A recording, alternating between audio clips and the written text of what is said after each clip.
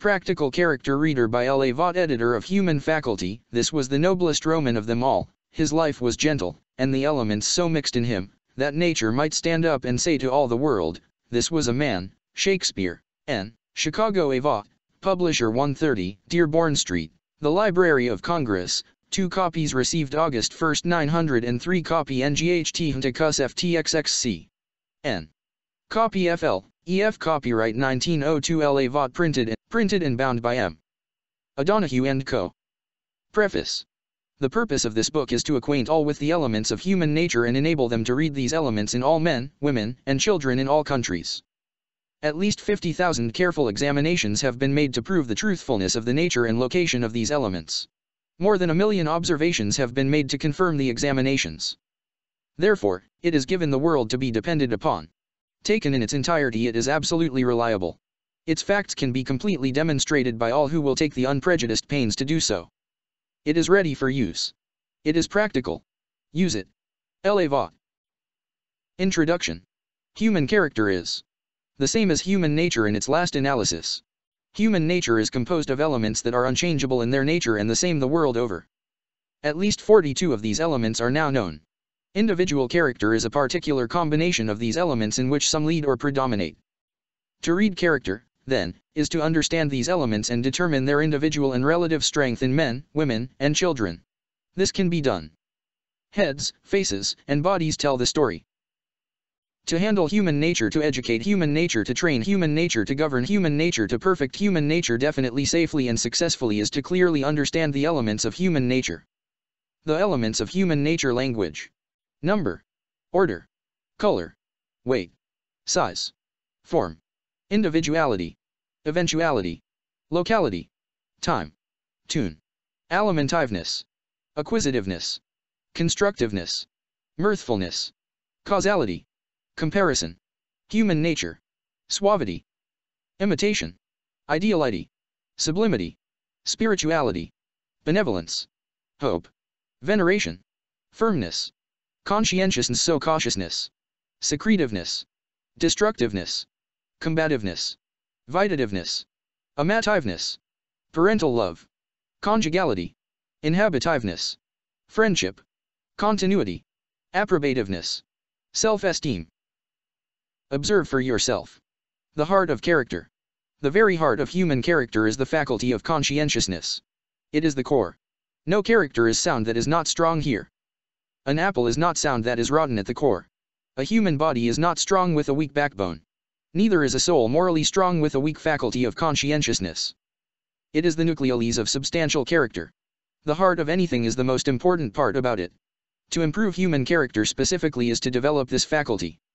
All other methods are necessarily empirical, general and indefinite. High time to be definite. It is time to be definite in education. It is time to be definite in the study of man. It is time to be definite in talking, writing or preaching about human questions high time. To be definite is to understand the elements of human nature. Positively honest slash. Make a sharp contrast between this and the opposite. He that hath eyes to see, let him see. Here is a good head from a back view. What a wonderful difference between this and the other. Honesty. Honesty is almost wholly made up of the element of conscientiousness alone. To be positively honest is to have a strong degree of this faculty, self-esteem, and firmness. These three faculties, when predominant in the mental constitution of anyone will make him wholly reliable. Here is an outline of a head that we want all men, women, and children to perfectly fix in their minds. Make use of every opportunity you have of looking at heads from a back view. Deceitfulness. The elements of human nature that make people deceitful are approbativeness, amativeness, secretiveness, alimentiveness, acquisitiveness and vitativeness. When these are very strong and conscientiousness, friendship, benevolence, self-esteem, and veneration weak, one will take the cake for deceitfulness. Head and face backslash TFFNZ caret slash slash K caret J it will pay all to remember the shape of this head and face. Here is the exact location from a side view of the most reliable faculty of the human mind conscientiousness. Underhandedness. Those who take underhanded ways of doing selfish things may be known by having predominant elements of secretiveness, approbativeness, amativeness, and acquisitiveness. With conscientiousness, self-esteem, and combativeness weak they will take to underhanded ways very soon after birth. Just observe or examine closely enough to learn if the four first named faculties are in the lead and you may rest absolutely assured that the party is underhanded in his ways whatever he may see I'm to. The contrary. Hospitality. The elements of hospitality are friendship, benevolence, and approbativeness. Deceitful eye and eye like this will represent a character that is positively deceitful.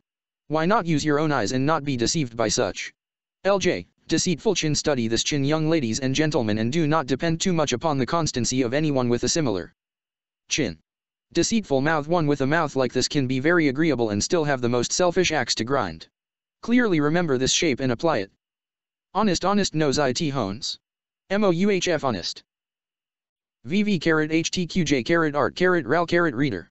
Carrot deceitfully or keep your eyes open in dealing with people with ears like this. Carrot sincerity.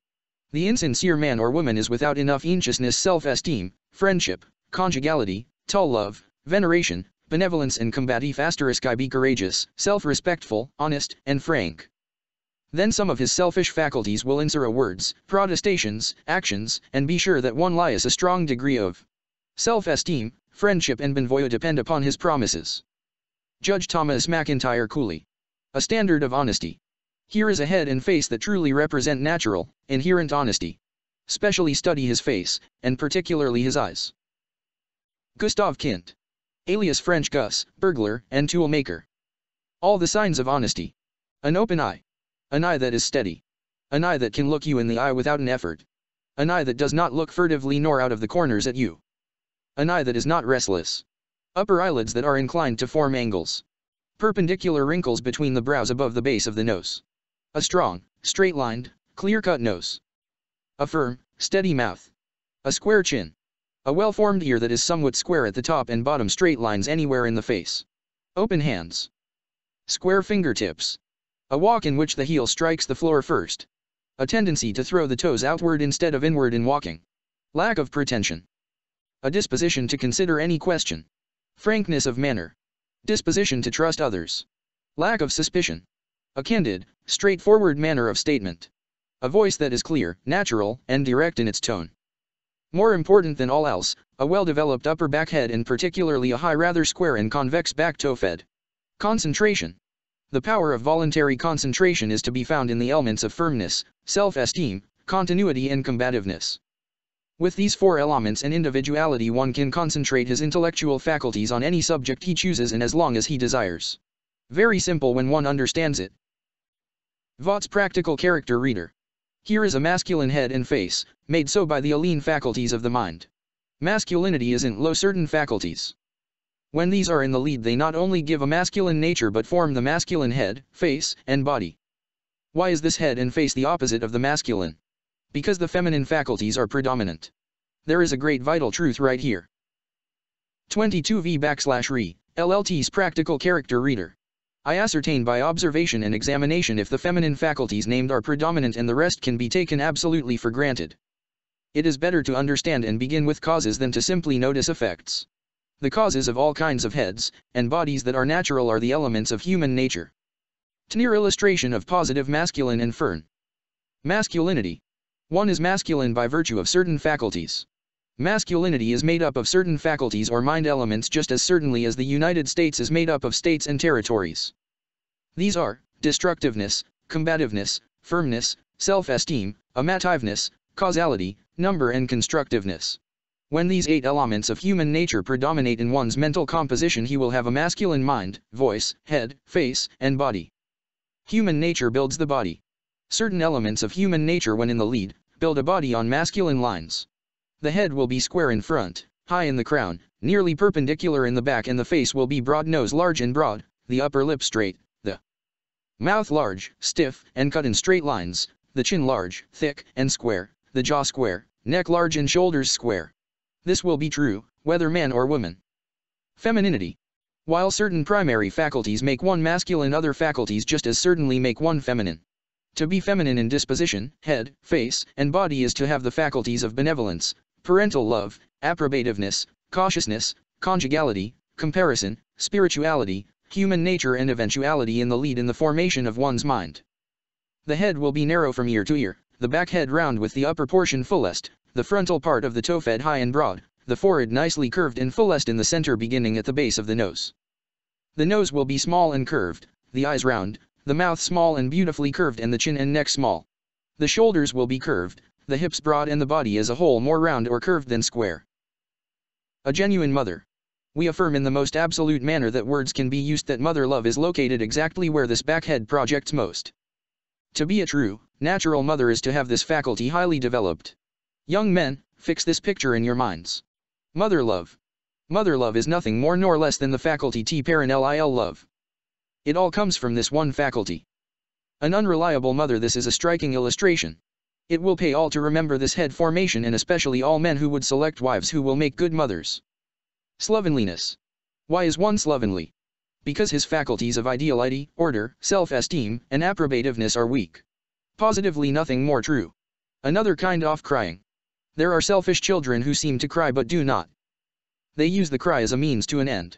This should not be termed crying, but calling, bawling, howling, screech. Carrot backslash UME slash the above illustration represents a very important fact. To be a genuine father is to have a strong faculty of parental love and there is only one faculty of this kind and one place to look for it. No man with a deficient, perpendicular back head is a natural father. A genuine father. Genuine father has strong faculties of parental love, conscientiousness, friendship, approba one self-esteem. The chief of these is parental tin's social element gives an instinctive love of children and therefore a fatherly nature. Be sure that will I large conscientiousness and will not go back on his children. We emphatically advise women to distinctly bear in mind that all men with heads shaped like this are unreliable as fathers. Young ladies, indelibly fix this shape of head in your memories. Any man who will make a natural, kind, and true husband will have a head in outline from a wide view like this. Prejudice. Composed of friendship, parental love, tie, inhabitiveness, approbativeness, veneration, and destructiveness. These elements when in the row a strong feeling for something or some end against the opposite. The reason this man is an unreliable husband is because he is very weak in conjugality and parental love and exceedingly strong in amativeness. Young ladies, beware of such men as husbands. Bigamy. Bigamy comes directly from amativeness. Conscientiousness is weak and secretiveness large. Polygamy. Polygamy is an amalgamation of amativeness, spirituality, and veneration. Strange, but perfectly true. Love. What is love? How may it surely be determined? Love is made up of three individual sentiments, friendship, conjugality, and amativeness. Therefore it may be understood, measured, and analyzed. There can be no love between the sexes without some degree of these three primary sentiments or elements of mind. They are located in the back head. This is the first place to look for love. Go to headquarters. But one may have much more of one of these elements of love than another. Here is the rub. This can be determined by proceeding to read character in the following way, when the base of the back head is larger and fuller than the upper part, passional or amatory love is in the lead. This kind of love is physical and not lasting. The eyes will have thick lids and not be very open, the lips will be large, coarse, and particularly developed in the center of each, the chin will be large and thick downward. When conjugality is in the lead, the upper part of the back head will be the largest and fullest. This will give a round, full, symmetrical form to the entire back head. This faculty never flirts, while amativeness docks. Conjugality is devoted to one. It likes the company of one. It desires marriage, while amative desires a good time and is indifferent about mar when conjugality is in the lead of amativeness in one's love nature, the eyes will be open and candid. The lips refined, nicely curved, and not very thick nor full am the tender, the chin will be comparatively thin and the neck not large. When friendship is in the lead of the other two the upper part of the back head will be decidedly the fullest, especially in width. The lips will eye. When the three elements of love are all strong the back head will be very round and full. All the signs of love. Rather large, rainbow, rosy lips. A well-developed chin. A tender, open and sparkling eye. A pleasant, warm, affectionate tone of voice. A warm grasp of the hand. A disposition to cling. More important than all else, a full round back head. How to pick out a good child. To pick out a good child be sure that the upper back head is very strongly developed and also the whole toe fed. When these two sections of the head are very highly developed there are innate in the child those elements that will love home, parents, fiends, morals, and religion. If these two regions of the head are poorly developed the reverse will be true. Then if the head is not very broad from ear to ear the child will have no positive tendencies toward vice, crime, and meanness. Impressibility. The elements of impressibility are approbativeness, spirituality, cautiousness, benevolence, veneration, ideality, sublimity, hope, conscientiousness, amativeness, conjugality, friendship, parental love and inhabitiveness. Approbativeness is impressible to praise, spirituality to mysticism, cautiousness to fear, benevolence to suffering, veneration to fear of God, ideality to beauty, sublimity to grandeur, hope to prospect. Conscientiousness to duty, amativeness to sex, conjugality to marriage, parental love to children, friendship to friendliness, inhabitiveness to patriotism. If all of these faculties were predominant in man or woman, either would be acutely impressible. A pointed illustration of how to lead children who have strong affections represented by a full back head. Affection. There are only five elements of affection in the whole human soul. These are friendship, conjugality, parental love, amativeness, and inhabitiveness. They add in the back head and fill it out when easily influenced. ANV man, woman, or child is easily influenced who approbativeness, benevolence, friendship and M a strong degree in self-esteem, pernentiousness and combativeness weak. Old not make this more plain. How to lead children.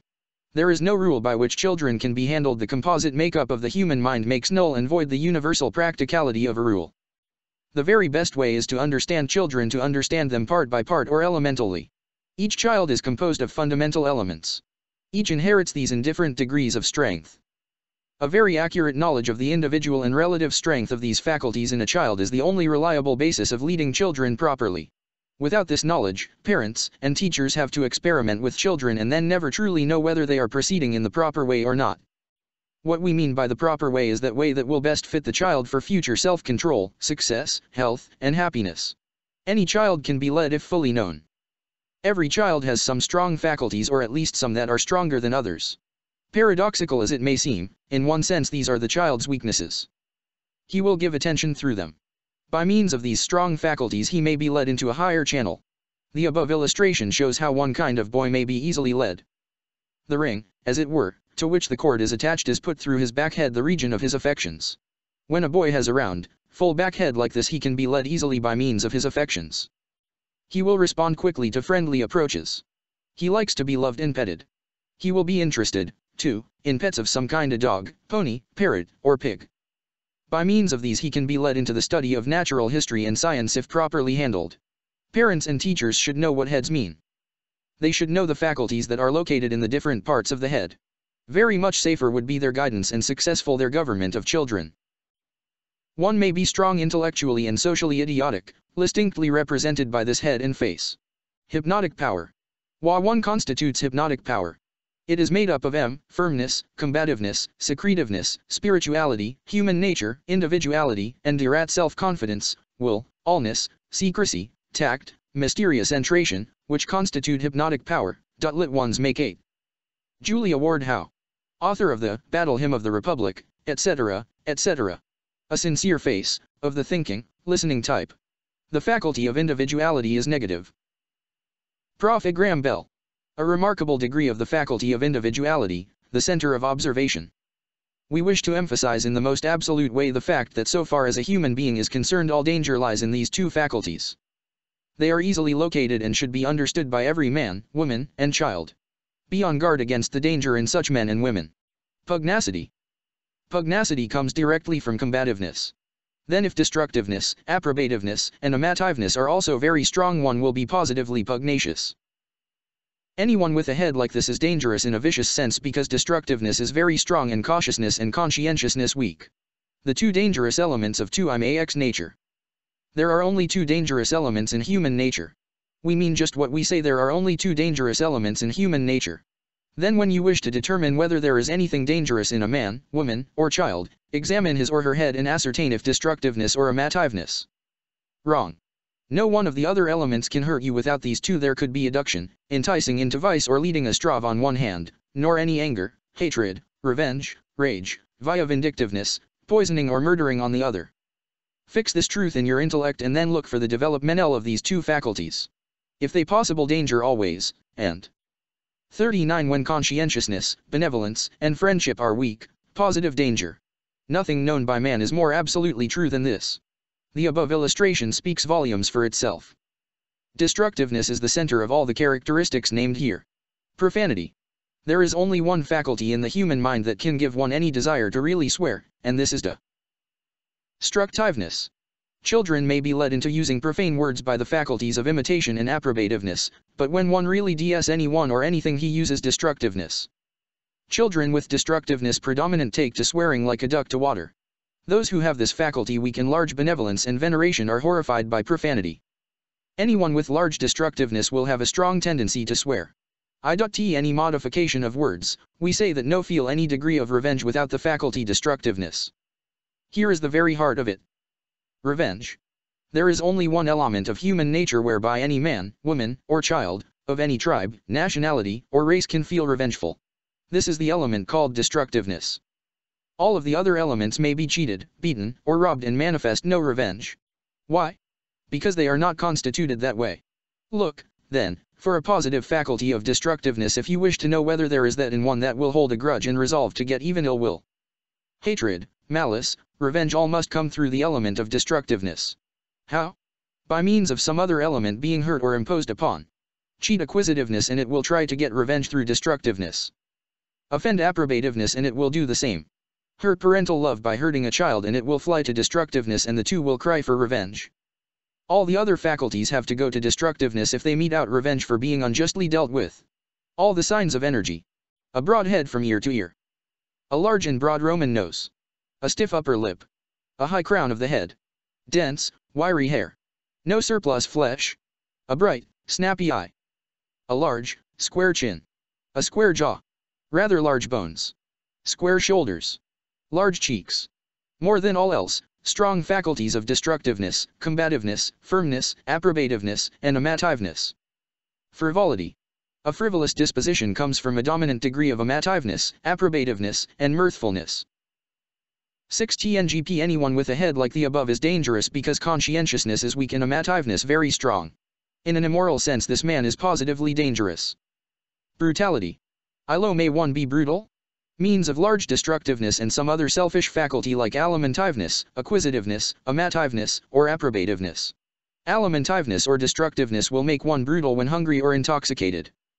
And destructiveness will make one brutal in the getting and holding of money or property and destructiveness will make one brutal m the gratification of lust. Approbativeness and destructiveness will make one brutal in rivalry and jealousy. In all such case one must remember that benevolence, conscientiousness, friendship, conjugality and parental love are not strongly developed. Always look or examine to see how strong these faculties are. Cruel eyes notice the straightness this is a true picture of of the upper lids and how a gross, sensual chin, hard they press down upon the balls. This means possible cruelty. What is savagism? Savagism is a predominating degree of destructiveness with small benevolence. Military nature. The composition of military nature is combativeness, destructiveness, and approbativeness. The first to give a love of combat, the second of shooting and the third of fame and victory. Moods. The human mind is so many-sided that one can show a great variety of moods. A particular mood is, a particular faculty in a high or predominating state of action. A mirthful mood is the element of mirthfulness leading all the others in action. A surly mood is destructiveness leading. A friendly mood is friendship in the lead of all others in action. Sensuality is wholly made up of two elements alimentiveness and amativeness. This illustration shows the location of these and when very strong in head and face. Remember the picture and apply it to others. Sensuality. Sensuality can be gotten right it. It can come from RCE than two fundamental elements of the mind, to wit, alimentiveness and amativeness. The istatory and the second amatory pleasure. To lean all-round sensualist, then, is to simply live in or under these two faculties. They are as easily located and almost as easily seen. The different kinds of energy localized. Always look for energy exactly where it is located. A striking comparison. Some have less ability than they think they have and some a great deal more. Energy. The two primary and exact sources of energy are combativeness and destructiveness. These two elements are inherently active. That is, they love action or effort without any attachments or other axes to grind. Destructiveness is the fundamental element of all energy that comes under the head of forceful. Combativeness covers all energy that contends. The two together, like everything of a forceful, struggling, wrestling, pushing, driving, destroying, overcoming kind, whether it be a desk that is hard to open, a game of football, a stump in the field or a mountain that has to be tunneled or removed. This is their pleasure. Indelibly fix this in your memories. Till thinking student. think out and understand the principles, definitions, causes, laws, and solutions of educational is to possess a strong degree of causality comparison. These two elements, therefore, when and Dudinako the thinking student. All should fix this outline in their minds and compare it with the opposite. The visual student. The student who is mentally organized to learn chiefly by vision has the mind elements of individuality, form, size, locality, color, and order predominant. One may have perfect eyes and be weak in these faculties, and learn very poorly by vision. This is a great fact for educators. This head speaks for itself. It is an emphatic fact. Awkwardness. Why I awkward? Because he has predominant faculties of approbativeness, destructiveness, and weak faculties of human nature, individuality, weight, time, amativeness, combative and self-esteem. Fix this outline to stay fixed in your mind, because it will pay you to do so. Greed. The primary elements of greed are alimentiveness and acquisitiveness. Suppose these two elements are very strong and benevolence, conscientiousness, and friendship very weak. Then one will be an out end. QVAV backslash E5S backslash 7 pluck is a fact. Here is an illustration that explains the fundamental elements of it. Pluck. The elemental ingredients of pluck are combative firmness, destructiveness, self-esteem. The chief one is combativeness. If moral pluck, conscience added. Add any other element to the primary elements and you get a particular kind. The two primary causes of nervousness here we hit the nail right on the head. All mental nervousness and nearly all physical nervousness springs directly from these two elements. This is a great tact for all who are thus afflicted and for all teachers, parents, physicians, and psychologists. The two elements of fear and nervousness from a back view. Blushing. To blush is to have enough of the element of approbativeness to make one fear some kind of ridicule or criticism. Without this faculty no one can blush. If self-esteem is weak and conscientiousness, cautious and veneration strong one will be a great blusher. Cast. Ohms from only two elements of human nature, approbativeness and self-esteem, but chiefly from the former. It is a mixture of vanity and self-importance, and wholly without merit. There may be talent and charge connected with it, but the feeling itself is wholly the product T2 selfish elements. Here is a striking illustration of the wants, accumulations and expressions of a single faculty approbativeness. Vanity. The center of human vanity is the faculty or element called approbativeness. To be vain is to be nattered through this faculty. When this faculty is very strong one is subject to some kind of flattery and can easily be made vain. No other element of human nature cares for praise. It is easy to locate this faculty in the head. It causes the head to be held to one side. It makes the voice affected. It curls the mustache upward. It does the same if a free the corners of the lips. It shows the upper teeth when praised, and minces the walk. When the crown of the head is high and the center of it where self-esteem is located is low, this faculty will be very active. Then if the faculty of human nature is weak there will be great susceptibility to flattery. Just press the right button. Whenever you wish to get the attention of Jones or Smith, O'Connor, or Dutton, DOAM whistle nor sing, nor profane things mention, first walk up to the head and press the right button. Head work. Do head work a good degree of two mind elements itly necessary. These are comparison and and should bear tins in mind never se work unless he has a asterisk good demands. To do constructive tructiveness. 55 which touches the line. The above illustration is a very instructive one. It will enable our readers to get at the predominant characteristics of anyone at a glance when they fully understand it, and when the individual to be read has one or more predominant faculties. That part of the face or head that projects most forward, if an or L, tells what part of the mind is predominant. Special development of parts of head or face means special strength of certain faculties. When the upper forehead is the most pronounced in development the reasoning or thinking faculties. Causality and comparison, of the mind are predominant. Such a person will be an abstract, absent-minded thinker. Is very likely to be an ideal theorist. He may be a profound philosopher but not very practical.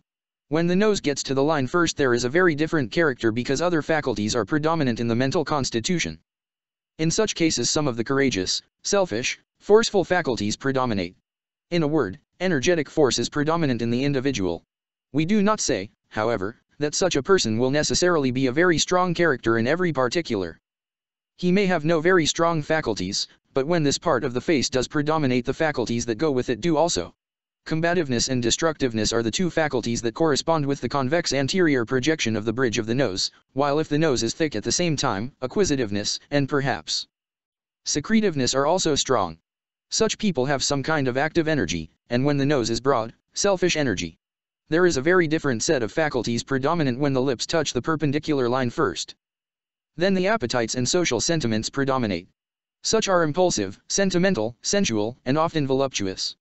They make emotional speakers and are almost wholly governed by impulse.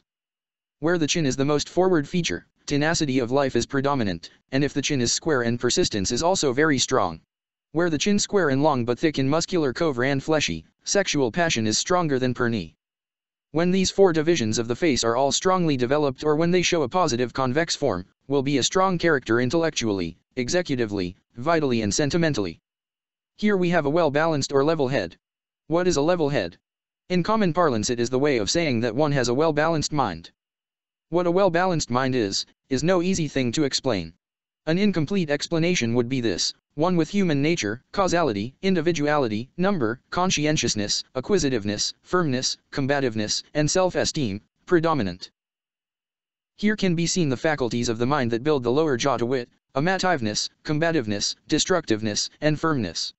Pugilism. The mind elements that give a love of pugilism are combath destructiveness, amativeness, and approb just as certainly as these four faculties read a mean ant in anyone he will be fond of baseball. Ill, athletics unill boxing. The principal reason that one has a long face with all the features turning downward as indicated in this illustration, is because those faculties of the mind that ought to fill out his top head and make it round and full are deficient. A roof-shaped head is pessimistic. Disagreeableness. The makeup of disagreeableness is destructiveness, firmness, approbativeness, secretiveness arid When these are strong and the five agreeable faculties are weak, one is very disagreeable generally. Such a person will tease, combat, boast, criticize and delight in worrying others. A great problem solved. The reason why of human diversity. The number of human beings that may exist without two being alike. A mathematical solution.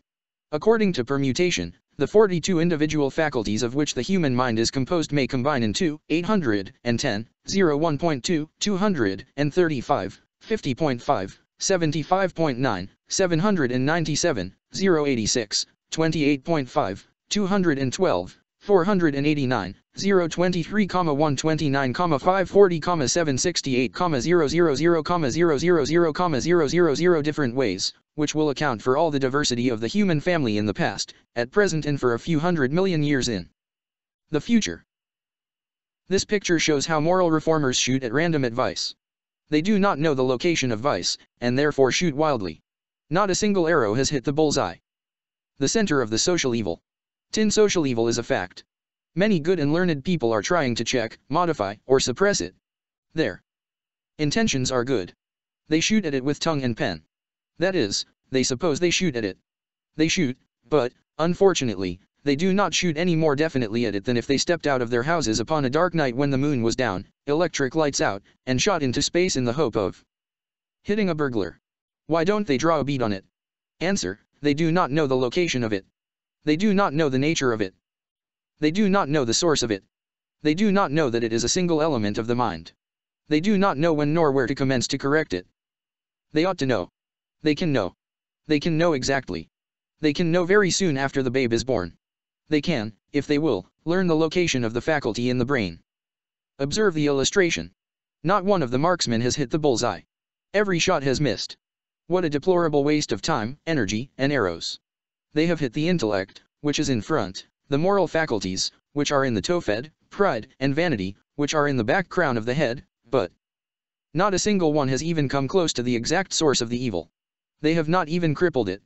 How could they cripple it till they hit it? How can they hit it till they know where it is? It is located in the little brain directly back of the two bony prominences that may be found in felt behind the ears. When very strong in child, woman, or man this region will be decidedly full or convex in form. It is immediately below a fissure that runs horizontally above it, and partly separates the little brain from the big brain, or, in other words, the cerebellum from the cerebrum. Its name is a amativeness. We now have it spotted. We know where to look for it. No longer is it necessary to shoot at random. We can now see it so distinctly and individually that we can hit it every time if we are good shots. Feminine, masculine, selfish, foxy, physical, balanced, mental, musical, just look for yourself. Get all of this. Many are somewhat organized like the above. Here is a complete and pointed explanation of the reason one cannot say no. Impulsiveness. What makes people impulsive? Intellect is not impulsive. There is no impulse in a single intellectual faculty. There is no impulse in firmness or self-esteem, there is impulse in cautiousness, destructiveness. Benevolence, friendship, approbativeness, parental love, combativeness, amativeness, alimentiveness, inhabitiveness, veneration, acquisitiveness, ideality. Mirthfulness, hope and sublimity. To be impulsive then is to let one or more of these elements act without regulation.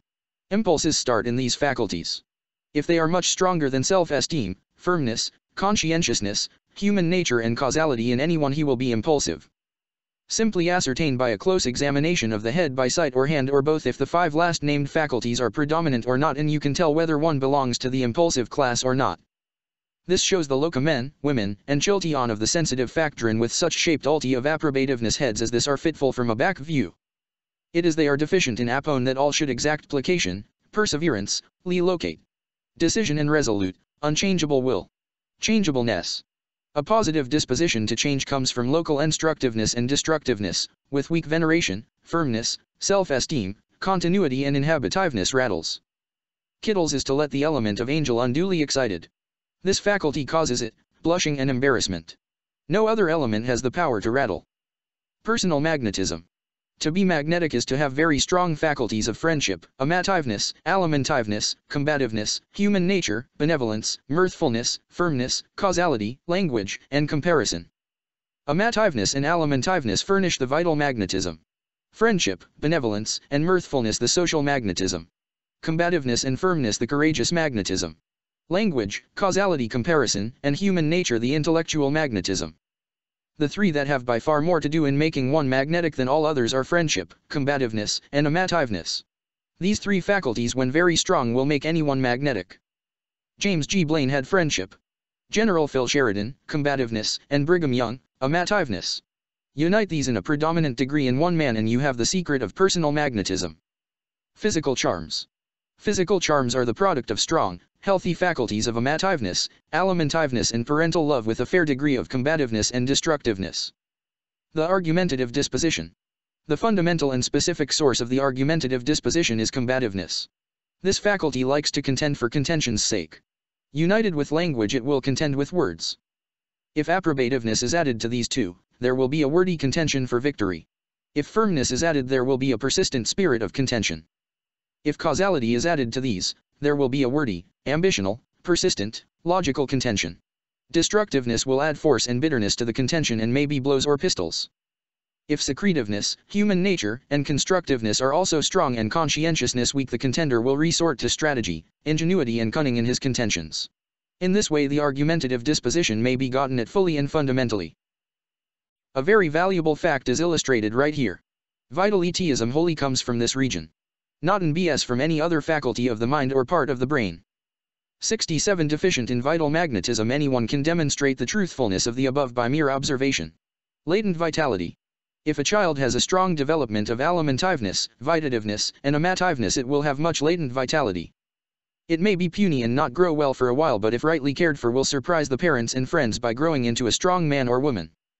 In such cases there has been arrested development by sickness of mother, prenatal influences, or improper food. Always go to the brain for certainty in any kind of character reading. 68 Vaught's Practical Character Reader. This is another illustration of the fact that if you press the right button, excite the right faculty, you will get the right response. Touch approbativeness and you will raise the upper lip. Disposition to crow. The M crowing faculty is approbativeness. None other. Others will give force to the crowing, but not the desire, if destructiveness is strong and belly nay and conscientiousness weak, one will rub it in religiousness. The fundamental religious elements are spirituality and veneration. Their first assistants are hope, being. One conscientiousness. Without the two aeons could have ever been. Elisha Gray. A scientific form of head. Great perceptive faculties. Asterisk asterisk the keynote op Edison's genius. LHMN, LCRS, O, HL clearly understood Ositis I asterisk. These, facul caret caret, J luoq. Y understood because it is all WAFs and one faculties. TWF caret I. Ties can be understood and measured in all men, women, and children. If there is any particular kind of genius there is always a very high development of those fundamental faculties that constitute the particular kind of genius. Mechanical genius is made of mental elements that by their very nature cannot constitute literary, musical, or commercial genius. Thomas A. Edison's genius is well known as the inventive. It is not commercial or musical. The keynote of it is the elemental faculty of constructiveness. His portrait overwhelmingly indicates this. That great convex development of the middle side temples is the result of a very strong degree of the faculty of constructiveness which has its seat here and uh, develops its two organs, one in each hemisphere, till they positively determine the formation of the external skull. The second element of his inventive genius is causality the logical thinking faculty. These two faculties are the two most original faculties of the 42 facultied soul. His eyes and head show an active faculty of spirituality also which gives him a consciousness of the undiscovered and faith in his efforts. He has a great development of those faculties that the constitution of the human mind necessitates to possess the very original inventive genius that he has so remarkably displayed. Curiosity. Curiosity is the product of individuality, causality, spirituality, constructiveness, approbativeness, secretiveness, and amativeness. Individuality gives a desire to see a thing, causality to understand it, spirituality to marvel at it, constructiveness to understand how it is constructed, approbativeness to get it before somebody else does, secretiveness to suspiciously pry into it, and amativeness to revel in the scandal of it. When these faculties are predominant in one he is a veritable curiosity seeker, looker, and investigator. Destructiveness is the center of human temper. The nine other faculties that stir it up principally are vitativeness, amativeness, alimentiveness, acquisitiveness, conjugality, inhabitiveness, approbativeness, conscientiousness and veneration. Temper. Human temper has a beginning. In one sense, we faculty, yet this is not extinction of the faculty from which temper springs is not exactly one of temper. This much may be said, however, there is a faculty without which no one can feel any temper. This faculty is destructiveness. Its function is not simply to destroy, it is dynamic force. It is, also, the only faculty by means of which one can feel anger, malice, and the tendency to crush or destroy. In itself it will not result in a manifestation of this kind. It is only when some other faculty is hurt that destructiveness becomes angry. Pretension. The elements of pretension are approbativeness, alimentiveness, acquisitiveness, amativeness. There are no other elements that can give any desire to pretend. To successfully pretend is to have in addition to the above named, secretiveness and human nature. Not to be pretentious is to have conscientiousness and self-esteem predominant. Diagnose your own case. Make use of the following definite self-knowledge. It are nervous your faculties of cautiousness and approbativeness are dominating the rest of you. If you cannot say no to one of the same sex, your friendship, approbativeness, and benevolence are relatively too strong. If you cannot say no to the opposite sex, it is amativeness, approbativeness and benevolence. If you cannot say no to children, it is parental love benevolence and approbativeness that prevent you. If you get rattled easily your faculties of self-esteem and firmness are not large enough. If you get the blues easily, your self-esteem, combativeness, firmness, spirituality and hope are too weak. If you are irritable, approbativeness, destructiveness and combativeness have got the upper hand of you. II you are absent-minded, individuality, locality, human nature and cautiousness are not large enough to keep in front. Just as surely as you keep these faculties in front you will never become absent-minded. If you fail to remember names, language, self-esteem, approbativeness and tune are not so strong as they ought to be to make you give particular attention to them. People with these faculties strong always give attention to names and therefore remember them. It you are broad between the eyes, however, you can remember names by writing them down and fixing them in your faculty of form. It you hesitate or stammer in speech, you are deficient m self-esteem, firmness and combativeness and should immediately cultivate these three faculties by the most courageous and self-respectful action. Borrow trouble, the trouble with you is too much cautiousness and approbativeness. Tempted to steal because you love Samaro Purdy or watermelons, it is because a candalimentiveness are pretty strong in ML makeup. If you are inclined to hold a grudge, remember that it is only because your destructiveness is larger than your benevolence and conscientiousness. If you think you are going to die and don't, your vitativeness and cautiousness have command of you. If you believe that every man has his price your own conscientiousness is very weak. If you imagine that someone has slighted you, your approbativeness is much too strong for its antidote, self-esteem. If you won't sleep in room 13 at a hotel, your faculty of spirituality is too strong for your comparison and causality. If you cannot keep your mouth shut, your firmness, self-esteem and secretiveness are too weak. If these three faculties were predominant in you, your mouth would shut up like a clam. If you forget dates your faculties of time and number are weak. If you are impatient your faculties of self-esteem, firmness, conscientiousness, causality, spirituality, hope and veneration are not strong enough. These, when dominant in one, give him the patience of Job. If you are not attractive, your faculties of friendship, amativeness, ideality, benevolence, and order are not as strong as they should be. Cultivate them. Irritability. Irritability starts in the faculty or element of approbativeness. This is the sensitive faculty. It has a great deal to do with making a sensitive, nervous system. Now if destructiveness and combativeness are also large one will possess the chief elements of irritability. This is just as true as 1 and 2 make 3. Let these three faculties positively predominate over all the others and anyone will be positively irritable.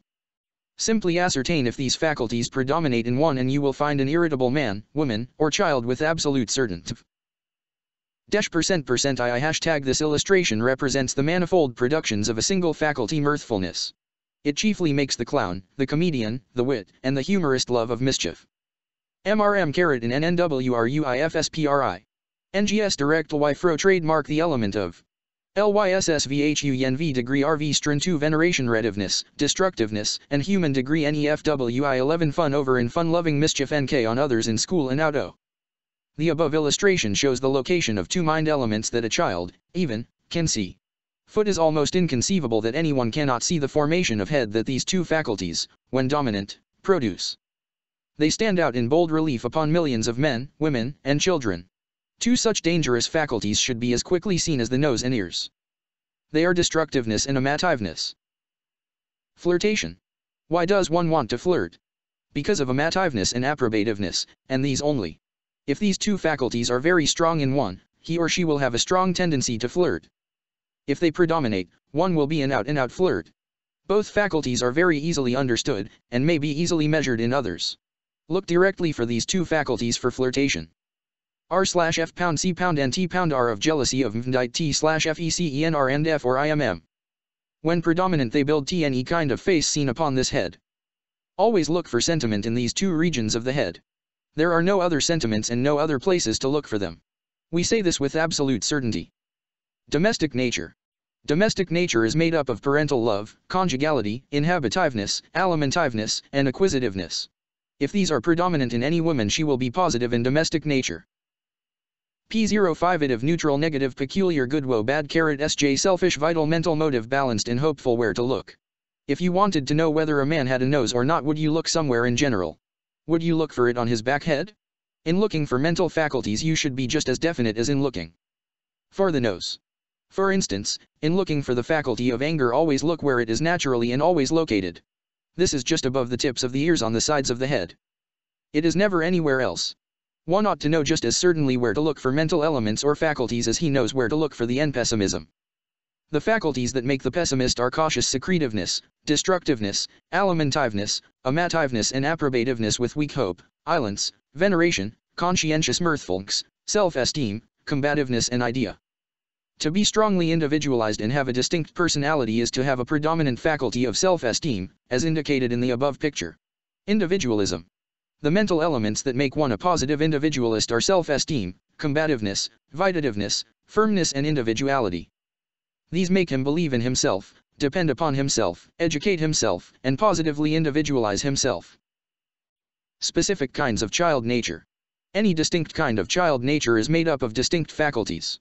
Vicious child nature has large destructiveness for its center, with combativeness and amativeness usually large and benevolence and conscientiousness negative. Destructiveness is the central element of viciousness. No one can be vicious in a brutal sense without a strong degree of this faculty. Stubborn child nature is made up principally of firmness, approbativeness, and combativeness. If this is of a very forceful kind, destructiveness is added. Sensitive child nature is made up of approbativeness, cautiousness, benevolence, and veneration, with deficient combativeness and self-esteem.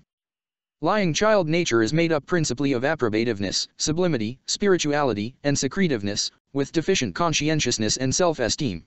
The two essential elements of moral child nature are conscientiousness and benevolence. Affectionate child nature is made up of friendship and amativeness, with deficient self-esteem, combativeness, destructiveness, and firmness. Studious child nature of the positive type is made up of causality, comparison, eventuality, ideality, and spirituality. These give a positive, inherent love of study. It approbativeness and conscientiousness are also large there will be an ambitious, conscientious love of study. Playful child nature has its seat in destructiveness with three special assistants mirthfulness, amity and combativeness. These four faculties predominant will make any child love games and all plays that musing. Timid child nature is made up of cautiousness, vitative any end. Spirituality, without combativeness and arrogance vanity self-importance backslash one hauteur lordliness. Backslash backslash I slash pride affectation bombast egotism pomposity dress parade swelled head command dignity This illustration speaks for itself. The domineering disposition. The disposition to domineer springs from the faculty of approbativeness and self-esteem, the former slightly stronger than the latter. Add to these two, strong combativeness, destructiveness and firmness and you have the constituents of the domineering disposition. Such made-up people have an overweening desire to boss. It does them a world of good to dictate what others shall do. They like to rule the ranch and when conscientiousness and benevolence are weak they will rule or ruin. The five above named faculties constitute all of the human disposition to dominate, command, domineer, dictate, boss and rule. They are easily understood. Easily located in the head, easily seen in the face, easily heard in the voice and all readers of this book should easily avoid such people hereafter. The center of Siefkfesms mes TFF pound CMR pound G of self ilms R slash F pound CMR JH? Of SEZF comj the faculties of everlasting self-reliant courage are indicated here. When these are predominant one is positively cheerful, and life is worth living to him. He never becomes despondent. One with a head like this is clumsy because the perceptive faculties and self-confidence are weak. Look for yourself. Those who have control of their appetites and feelings regulate their lips like the first outline, those who have not will have a position of the lips like the second. Stubbornness. The chief element of stubbornness is combativeness.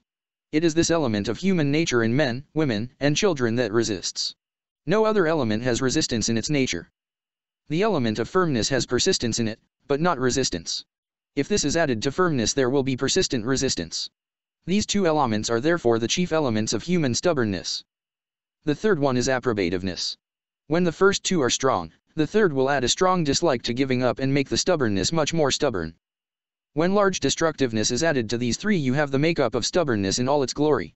The faculties that will tend to prevent these faculties from being unreasonably stubborn are conscientiousness, self-esteem, benevolence and causality. This illustration shows the difference in position, at church during prayer, of two, one with positive analhe GNT. RE trademark, GNATLVE venerati 0 and caret the T0 P head degree F goodness, S is made up of 6 of the 42 mind elements, to wit. Benevolence, conscientiousness, veneration friendship, conjugality and parental love. Good to XRS enu caret y degree caret caret trademark asterisk. This skull shows a convex development of destructiveness, alimentiveness, and tune. An illustration of the external formation of a positive faculty. This is the same skull. It shows the internal concavities that correspond with the external convexities of the other picture in this book. There is always a true correspondence between the normal development OT faculties on the inside with the outside. This illustration is full of meaning. It shows the relation between the faculties of the mind and a single factor of the face. Different faculties build different parts of the face. The vital faculties build the wings of the nose chiefly, and give it fleshy thickness. The motive faculties build the bone of the nose and make it Roman in form. The intellectual faculties chiefly build the tip to the nose. Take extreme cases of either and you will see for yourself. Caret caret CA0S8 PDUK. Caret VRM caret V here is one who is the opposite of the materialistic. Psychical sensibility. There is a faculty that gives one a psychical tendency and sensibility. This is spirituality. Coupled with human mature it gives not only psychical sensibility but the intuition to interpret mental impressions. The eceives and the second interprets. This man is the opposite in mental makeup of the one who feels that he is spirit. Make a sharp comparison of the two heads. Materialistic. A materialist has weak spirituality. Then, with strong perceptive faculties, good comparison, causality, alimentiveness, and amativeness he lives in the objective, concrete material, sensuous world and does not sense the spiritual.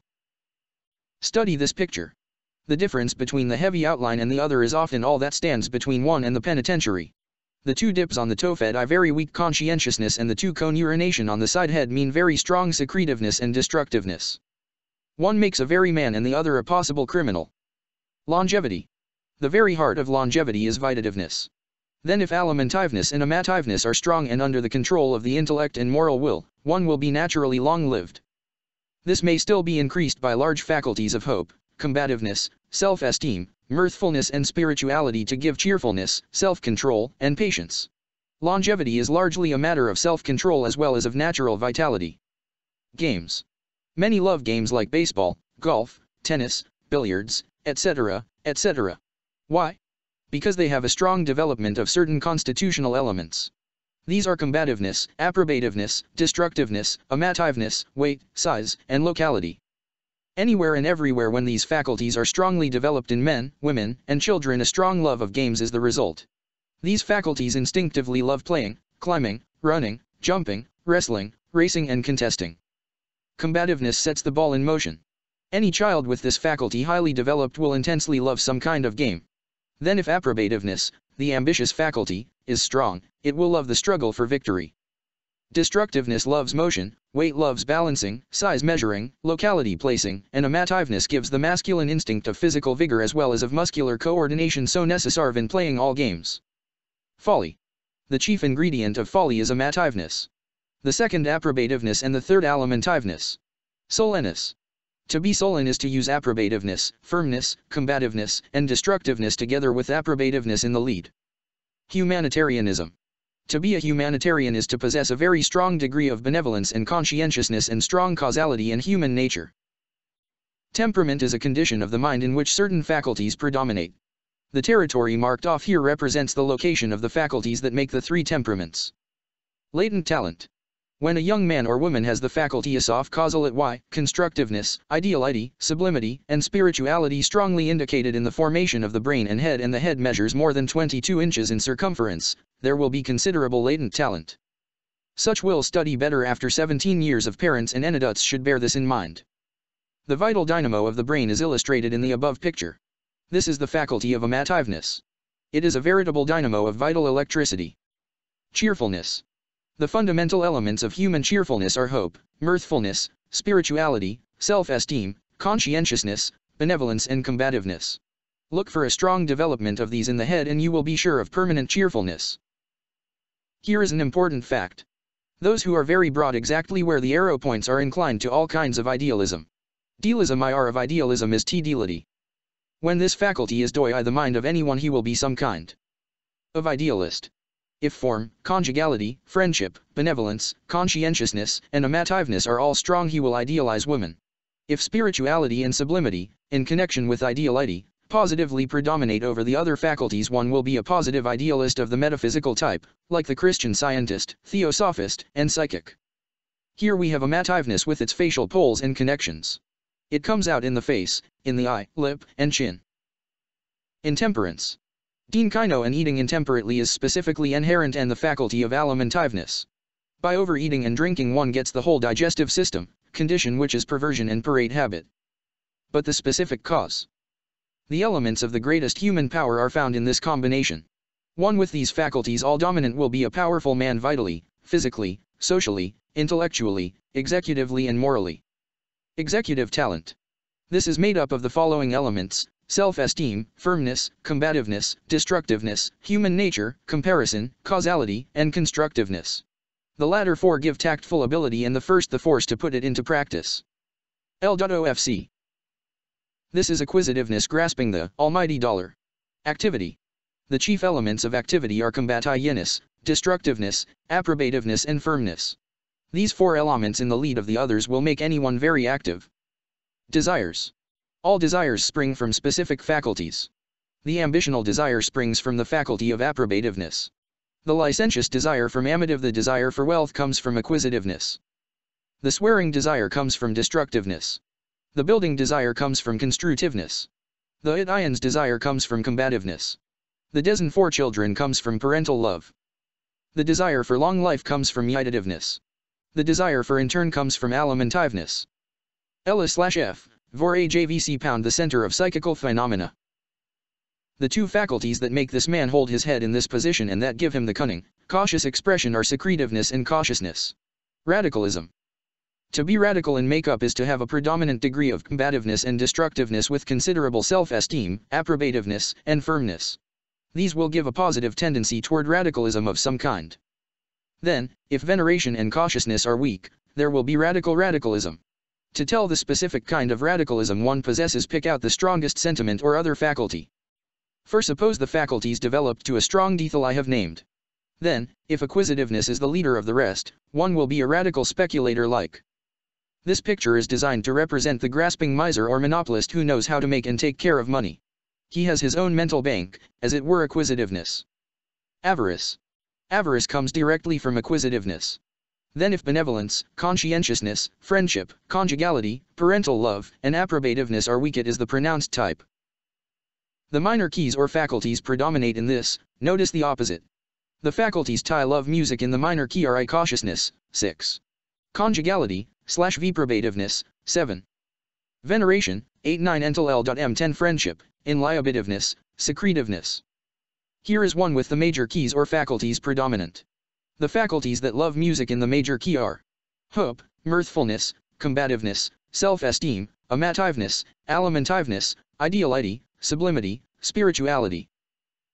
Here is a very positive demonstration. All very broad-headed humans, animals, birds, reptiles, and flies are vicious. Very narrow-headed men and snakes are harmless. The character of broadheads. Human faculties are not located just anywhere. They do not vary any more in location than do the nose, mouth, and ears. We know where to look for the ears. We might know where to look for the savage, destructive, carnivorous elements of human nature just as well. They have a certain location. Are never found elsewhere. Their localization is in the temporal lobes of the brain and never else. Where? Externally they cover the middle side head in which the tip of the ear is about the center. They therefore give width to the head directly through from one ear to the other. Broad heads mean something definite and fundamental. The fundamental faculties localized in the temporal lobes are alimentiveness, acquisitiveness, destructiveness, secretiveness, combativeness and vitativeness. These six elemental faculties embrace in their nature all appetite, avarice, savagery, cannibalism, malice, venom, cunning, stealth, pugilism and tenacity of life. They constitute the predominant nature of the carnivora or that which determines a natural class of animals from other classes like the herbivora and granivora. No animal could be carnivorous in nature without a dominant degree of these selfish elements. They are predominant in the eagle, lion, tiger, hawk, catfish, fox, hyena, rat, owl, butcher bird, kingbird, shark, alligator, snapping turtle, wolf, swordfish, all poisonous snakes like the cobra, moccasin, and rattlesnake and in all biting flies. All of these have broad heads. In fact, any animal that has more brain in the temporal lobes than elsewhere will be vicious and carnivorous. The human nature of fishing. Who has not felt that almost indescribable thrill that a good bite sends along the nerves from the hands to the brain? Where does it come from? What is it? It is a mixture of cautiousness, sublimity, spirituality, and approbativeness. The bite jolts cautiousness into nervous excitability, then sublimity instantaneously imagines it to be little less than a whale in size. Spirituality adds that marvelous thrill that arises from all things unseen and approbativeness is intensely excited for fear he will get loose and you will lose the glory of catching the biggest fish. Then if the fish is gamey, combativeness and destructiveness immensely enjoy the contest. Thus one has the love of fishing. Catching a mess for dinner is not fishing. Take away the faculties of combativeness. Destructiveness, cautiousness, sublimity, approbativeness, and spirituality from one and the best fishing in America will be insipid. These faculties do not give the talent, however. This comes from the faculties of human nature, locality, weight, and individuality. Human nature united with sublimity and locality gives one that mysterious ability to tell good fishing weather and places. A born fisherman must have a positive faculty of human nature just as one who loves the gamey contest of landing a big one must have combativeness. Human attraction. RHE above illustration shows a verve combinatorical degree n. It is a powerful magnet. Tens of thousands are drawn Taiwei as UW magnet draws needles to it. They have very strong faculties of dend combativeness. Take these two FAC. Ul ties out of the mental constitution and the prize ring would absolutely drop out of human life. No other faculties directly have any attraction for it whatever. There are two other faculties, however, that cooperate with destructiveness and combativeness, and indirectly give a tendency and ambition toward it. These are amativeness and approbativeness. Amativeness is a masculine sentiment. It is that faculty that makes the male animal want to whip all other males. It causes all male animals to contend. They contend for masculine supremacy or mastery of the herd. Two male animals who are strongly endowed with amativeness will fight. In fact they will struggle to the death. This sexual sentiment stirs up approbativeness, which desires victory. Approbativeness, therefore, in the sense of ambition, cooperates with destructiveness and combativeness in the pugilist. Our object in illustrating human attraction is to familiarize all with the fundamental sources of everything human. We wish to still further make it stand out so plainly that it will be seen even in the babe. The mother ought to see all of the latent tendencies toward brutality, revenge, and probably murder. The time to restrain these is in infancy. If parents cannot see what is inherent in the child, although latent, they may let it grow up and become positively dangerous to self and society. They will not see these things until they are strikingly illustrated. The readers of this book should use this illustration among the neighbors. They should get all of their neighbors interested in the localization of these lower selfish faculties. Know the torrid zone of human nature. There are zones of human nature more real by far than the imaginary climatic zones around this old world of ours. Vet how many school children know anything about the location of these human zones. The above illustration shows the location of the torrid slash NC of character. In this one the climate is exceedingly hot. The consequence is that the most violent storms are generated and sweep over the rest of the mental territory with terrific hot, ires of passion spring up and set the whole body aflame.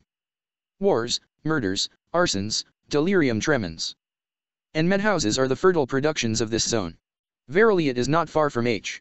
It may be this is the veritable place. It ought to be investigated at least. Volcanic eruptions take place here which show subterranean fires. The result is terrible. Millions are destroyed millions more are maimed for life. And yet the human family is hardly aware of the location of this terrible zone. Would it not be wiser and safer to teach our children more mental geography and less African and Asiatic? Why some boys cannot raise a mustache. Suppose a boy resembles his mother and she resembles her mother, she will be very feminine. He will probably have the upper face of his mother and particularly the upper lip. If he has a very feminine upper lip he will never produce a heavy mustache however much he may shave it and use hair developers. The masculine nature is not there and therefore he cannot produce that which must come from masculine faculties. It is a question of faculty. No woman will have beard unless she has some masculine faculties. Some of these are causality, self-esteem, amativeness, destructiveness, firmness, and combativeness. Any young man who has a strong degree of these six faculties will have little trouble in producing a mustache, in fact it will produce itself, or in other words it will have back of it those qualities that build a large upper lip and then adorn it with hair. Look aright. Look for sociality and affection in the back head. Look for pride, will and ambition in the crown of the head. Look for force, cunning, and avarice in the side head. Look for taste and constructiveness in the upper side temples. Look for reliability, sympathy, and spirituality in the whole top head. Look for observation and practical talent in the lower forehead. Look for thought, reason, and originality in the upper. J caret dash caret SG caret S These three divisions of the head represent three divisions of the mind corresponding in nature to the names. The threefold nature of human nature is illustrated in the above. Love of the occult. There is a faculty called spirituality that gives one a love of the mysterious, supernatural and occult. When highly developed in ideality and sublimity are also positive, one will have a great attraction toward hypnotism, theosophy, spiritualism, astrology, metaphysics, and all kinds of occult thought and manifestations. With these three faculties very weak the opposite will be. Cautiousness and the other faculties that unite with it to produce fear. Fear of death vitativeness and cautiousness. Fear of God veneration and cautiousness. Fear of ridicule approbativeness and cautiousness. Pecuniary fear acquisitiveness and cautiousness. Parental fear parental love and cautiousness. Superstitious fear spirituality and cautiousness. Spontaneous fear cautiousness. Infidelity. The positive cause of infidelity is amativeness. When this faculty is strong and the faculties of conscientiousness, benevolence, friendship, and self-esteem not so strong, infidelity to wife or husband may come about. There can be no certainty in human character without at least a strong faculty of conscientiousness. For the good of nil concerned we affirm that when the elements oi self-esteem and conscientiousness are weak in ANV man or woman there will be much likelihood of infidelity. OB nan and women, learn to read character element elemental. The corn faculty or the exact source of corns. Few would believe at first thought that there is a direct relation between a human faculty and corns, but such is a fact. Corns and bunions are nearly all produced by one faculty. It is not exactly a corn faculty. We hardly think corns are of sufficient importance to be honored by creation with a faculty by which we directly perceive them as the faculty of color perceives colors. One little corn, if it is properly situated, will come into perfect con. Tact with the whole mind, which is made up of 42 faculties. No one who has had much experience with corns will doubt the power of a corn to take charge of the larger part of the sensory nervous system and make a sweeping report up to headquarters. Corns do not just grow. Every product has a proper producer. Corns are produced, not always purposely, but still they are produced. It looks a little strange that one should be endowed with a faculty that will produce corns. We might go further and say that we can tell by an examination of the head, without seeing the walk or taking the trouble to find out whether the shoes are three sizes too small or not, whether one is fertile in the production of corns. This corn faculty, as we said at the commencement, is not a new faculty. It is as old as the race. It not only produces corns, but many other extraneous, abnormal physical formations. What else could put rings in the lips, deform the skull and produce the pretty little feet of the Chinese? It is a contracting faculty. In fact, it is a greater contractor than all the other faculties combined. It does not take on contracts, yet it does a large contracting business. It runs many large manufactories. It employs hundreds of thousands. It has an affinity for rich stones, pearls, diamonds, and tombstones. It not only likes the latter while living, but by virtue of its great contracting power often gives those who have no one quite such a strong degree of it an untimely chance to place one at the head of the body of one who had it too like Arity. INT a faculty that is strong enough to build a corset manufactory can do most anything. It can even tell a fish story. It is a very lively faculty while it lasts, and its name is not wisdom but plain approbativeness. A poor money saver. Altruism. A genuine altruist has benevolence, conscientiousness and friendship predominant. Socialism. The socialistic nature is made up of friendship, conscientiousness, benevolence, and ideality, with deficient self-esteem, acquisitiveness, and approbativeness. No one will be a socialist who has the three last named faculties. The above illustration shows that two Roman noses arrow surely too many in one family, especially in husband and wife. Affectation. Tli's unfortunate weakness of human nature comes directly from a single faculty or mental element, to wit, approbativeness. It is a false desire to please and be able. Conscientiousness and self-esteem are always weak in such people. No one can be affected with these two faculties predominant. Remember that affectation is always wholly insincere. One can be very bland, affable, deferential, respectful, kind, agreeable, and entertaining without an iota of passion. Just find one with benevolence, veneration, iship, suavity, and conscientiousness strong and duically prove it.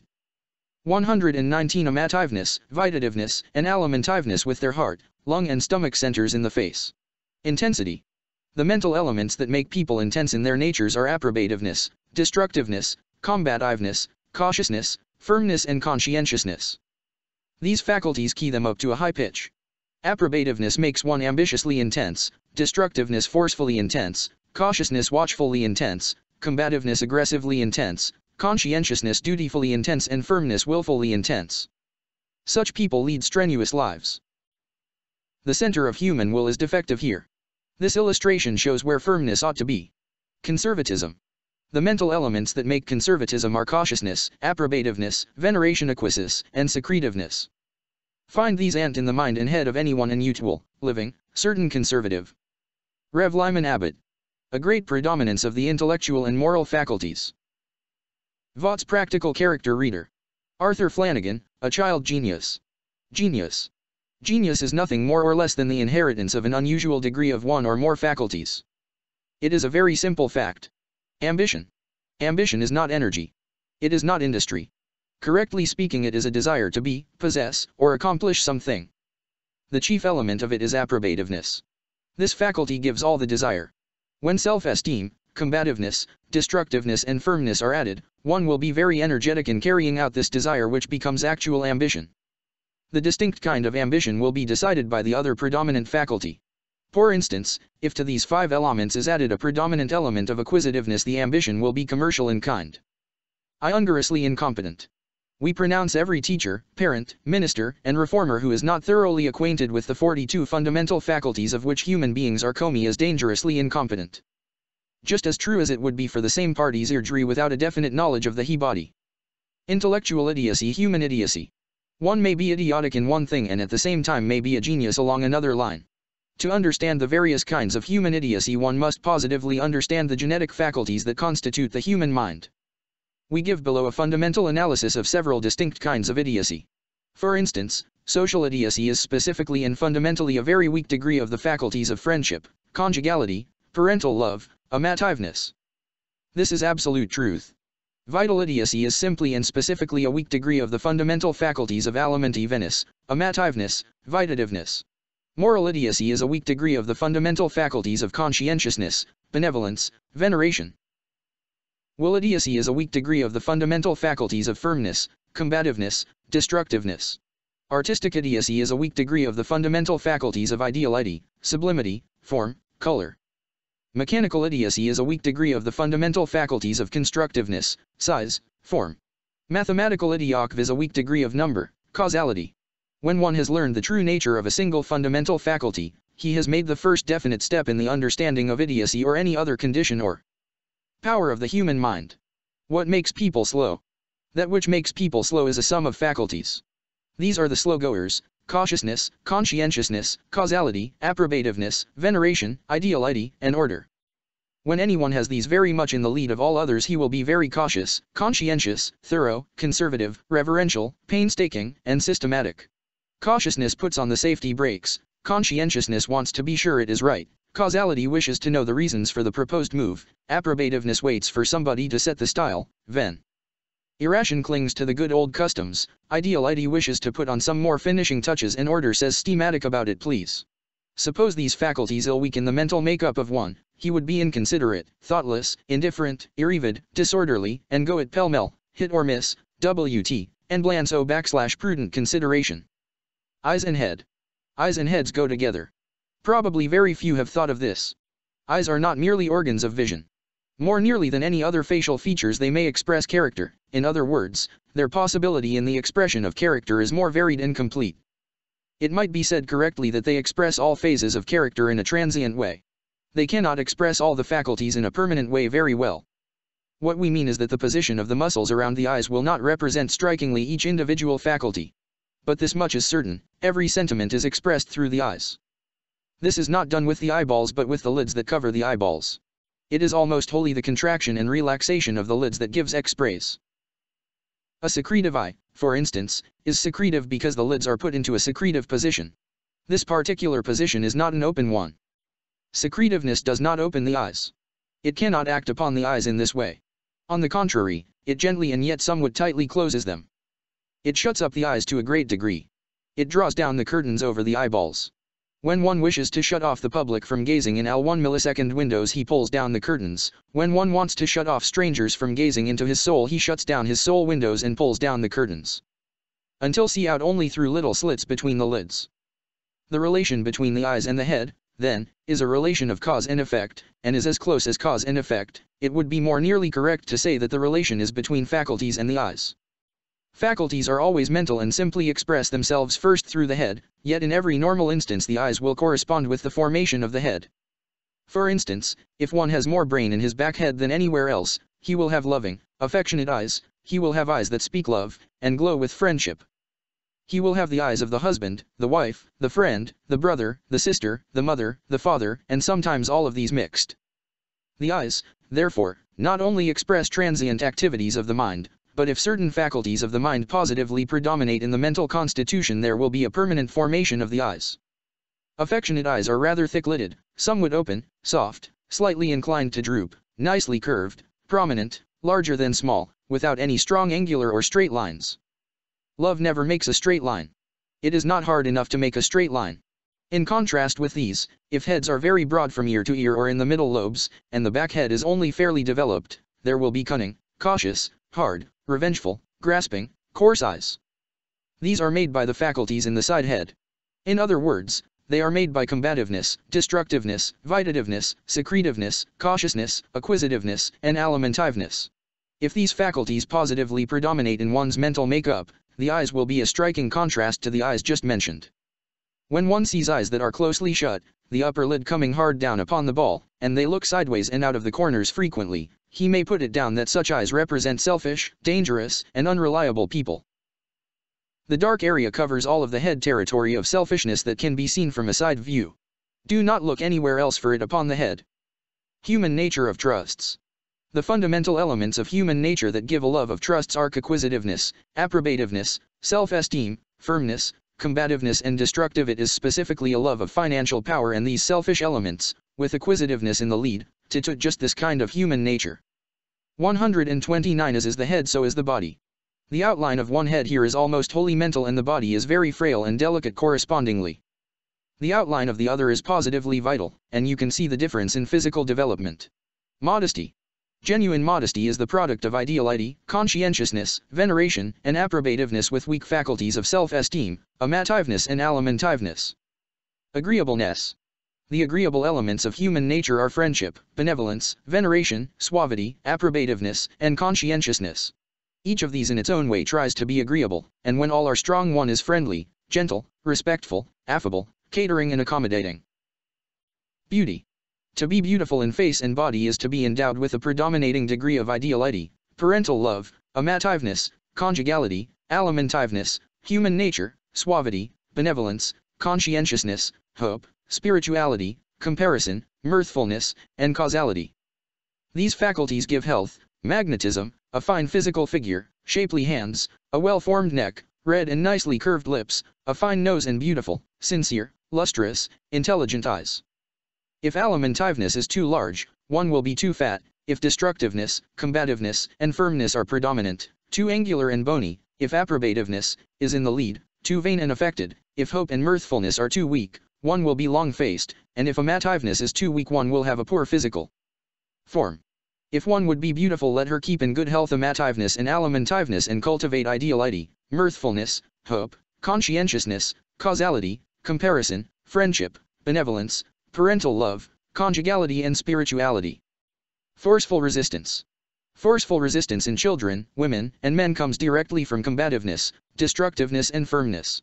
Any man woman, or child who has a strong degree of these three faculties will be very forceful in resistance in either a mental or physical way. If to these three faculties are added strong faculties of approval of kness and self-esteem, there will be a whirlwind or a forceful, determined resistance. Intuition. The faculty called human nature is the center of intuition.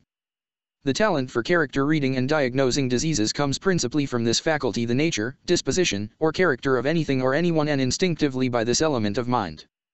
Strictly ing, it is the only intuitional faculty. Other faculty spirituality and benevolence aid it, by giving, era psychical and tender nature, but these have tuition in and of themselves. Here is cautiousness extremely developed from a back view. Such people hesitate and manifest timidity and even cowardice. Procrastination.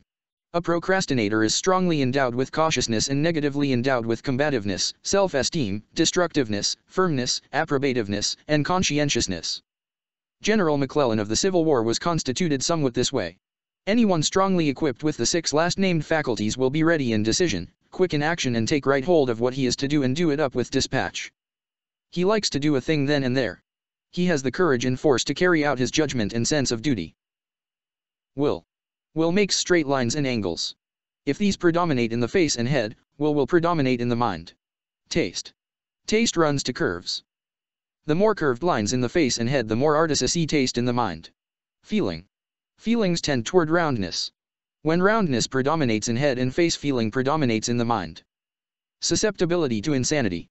The mind elements that give one susceptibility to insanity are spirituality, cautiousness, veneration, approbativeness, conscientiousness, parental love, friendship, conjugality, ideality, and constructiveness. These give keen susceptibility to hallucinations, delusions, fears, remorses, criticisms, failures, blues, griefs, disappointments, and false imaginations. Spirituality is the center of susceptibility to delusions, hallucinations, and in connection with veneration, of religious insanity. Cautiousness is the center of fears of danger and M union with approbativeness of despondency and melancholia. Constructiveness is the center of invention and when, and G in one he is liable to have, wheels in his head. Spirituality, veneration, cautiousness, and approbativeness have caused the largest number of insane cases.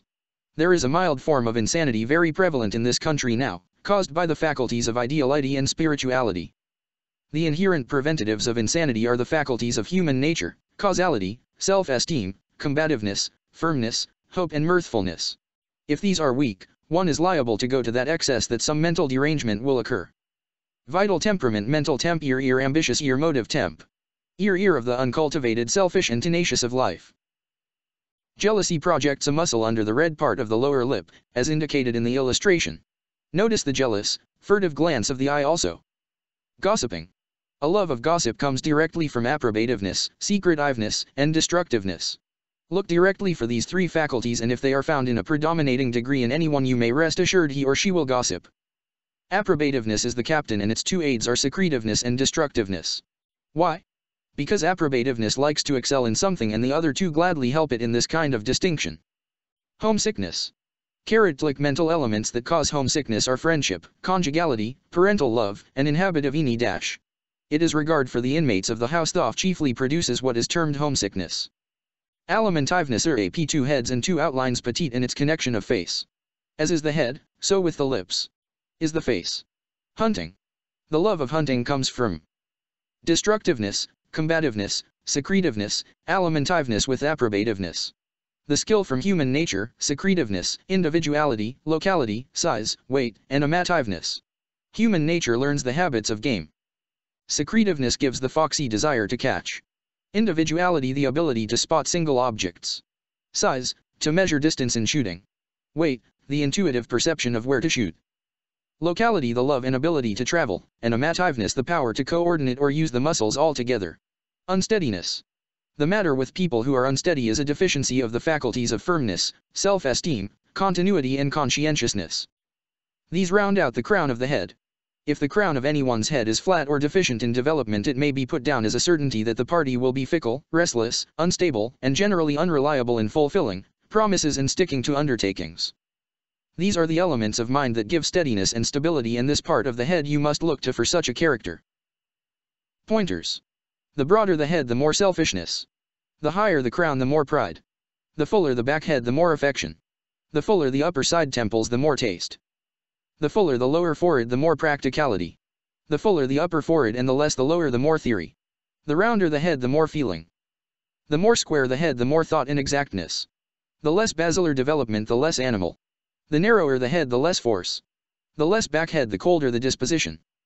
The more closed the eyes the more secrecy. The higher the eyebrows from the pupils of the eyes the more credulity. The more middle face the more energy. The more lower face the more sensuality. The finer the hair the finer the brain. The tougher the hair the tougher the brain. The thicker the scalp and skull one the less brain. The fuller the whole toe fed the more reliability. The thinner the lips the less affection. The more the teeth are shown the more love of applause. The more features that turn upward the more cheerfulness. The more affectation in the voice the less substantial character. The more boastfulness the less courage. Teasing. The desire to tease comes from destructiveness, mirthfulness, combativeness, and approbativeness. Destructiveness is rough and likes to get others into trouble. Mirthfulness enjoys all the fun there is in it. Combativeness gives the love of conflict and approbativeness SOV. the success. These are the teasers, sure. D.L. Moody represents in his head formation a great deal of human energy.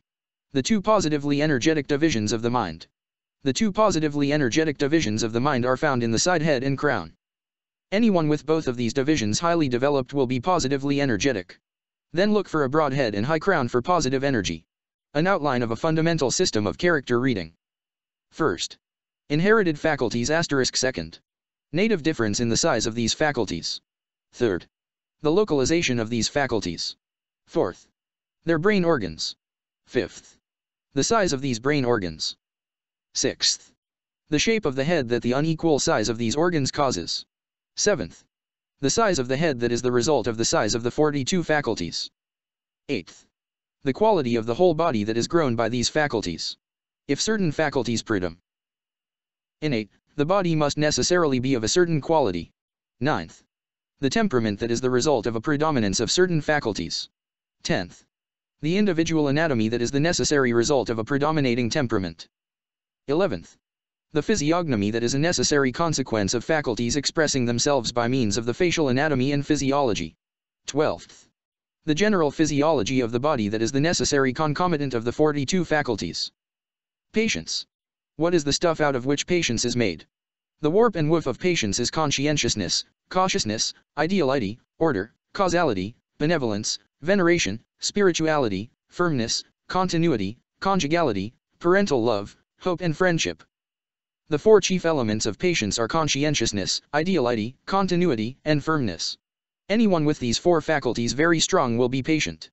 Conscientiousness likes conscientious labor, ideality likes to finish off, continuity likes to continue along the line started upon, and firmness likes to persevere. When approbativeness, self-esteem, destructiveness, combativeness, alimentiveness and acquisitiveness are dominant in adults or children, impatience will be manifested frequently. Who are suspicious? The suspicious have secretiveness, approbativeness, acquisitiveness, amativeness, and cautiousness highly developed. These selfish elements predominant would make an angel suspicious. Such people are naturally cunning, deceitful, selfish, jealous, and fearful, and spontaneously produce ideas that nearly everybody else are. They take their own minds as standards and instinctively believe that all are rogues till proven innocent. There is no other way to be suspicious. You can always find some of these faculties strong in suspicious people and conscientiousness, Benvone spirituality weak. Backslash Francis R.E.A. Macmillan a musical genius. Henry George. Fine forehead with a great development of the frontal part of the tophed showing a very positive degree of benevolence. Plus MAMAR slash V pound N pound SS a trinity of traitors. Human treachery is a fact. Fortunately, it is not a very common fact, yet it has occurred. Probably all of our readers have had a little taste of it. Three of the 42 elements of which human nature is composed may be called treacherous. Either of these three will go back on acquaintance, friend, or kindred. When they are fully understood, one understands the very foundation of treachery. They are amativeness, acquisitiveness and approbativeness. Either one may be treacherous when in the lead. Amativeness has proved treacherous thousands of times in love. Those who have this faculty positively predominant are very treacherous, so far as constancy and reliability are concerned in association, love, and marriage. The flirt, the sensualist, the bigamist, and the seducer are living examples. In itself. This faculty has no regard for the welfare of the one in which it is interested for the moment. Only when it unites with some of the higher faculties can it be helpful. Therefore all who depend upon this kind of love or this faculty in association, companionship, courtship, prospective marriage, and marriage itself will be positively disappointed. It is not reliable unless sustained by higher faculties like conjugality, friendship, and conscientiousness. Again, acquisitiveness is treacherous. How little it takes sometimes, of money, to prove unreliable. How many will sell their souls for a mess of pottage? Some can even be bought for a dollar. Acquisitiveness itself is positively selfish. It looks out for no. I holy. If money is the root of all evil, this faculty is the root of all evil. It is the only faculty that loves money. When sufficiently strong it will go back on friends, kindred, and country. It will prove traitor to every obligation and all kinds of domestic and civic responsibility. Again, approbativeness is treacherous. It is the center of ambition. To attain fame and excel somebody for the sake of the plaudits of the world, this faculty makes thousands treacherous. Some politicians are treacherous. This is the center of selfish politics. If this faculty positively dominates there is no certainty of honesty and reliability. It makes many untruthful. It causes them to use all kinds of deceit. It is altogether the most deceitful faculty of the 42. It is the most pretentious.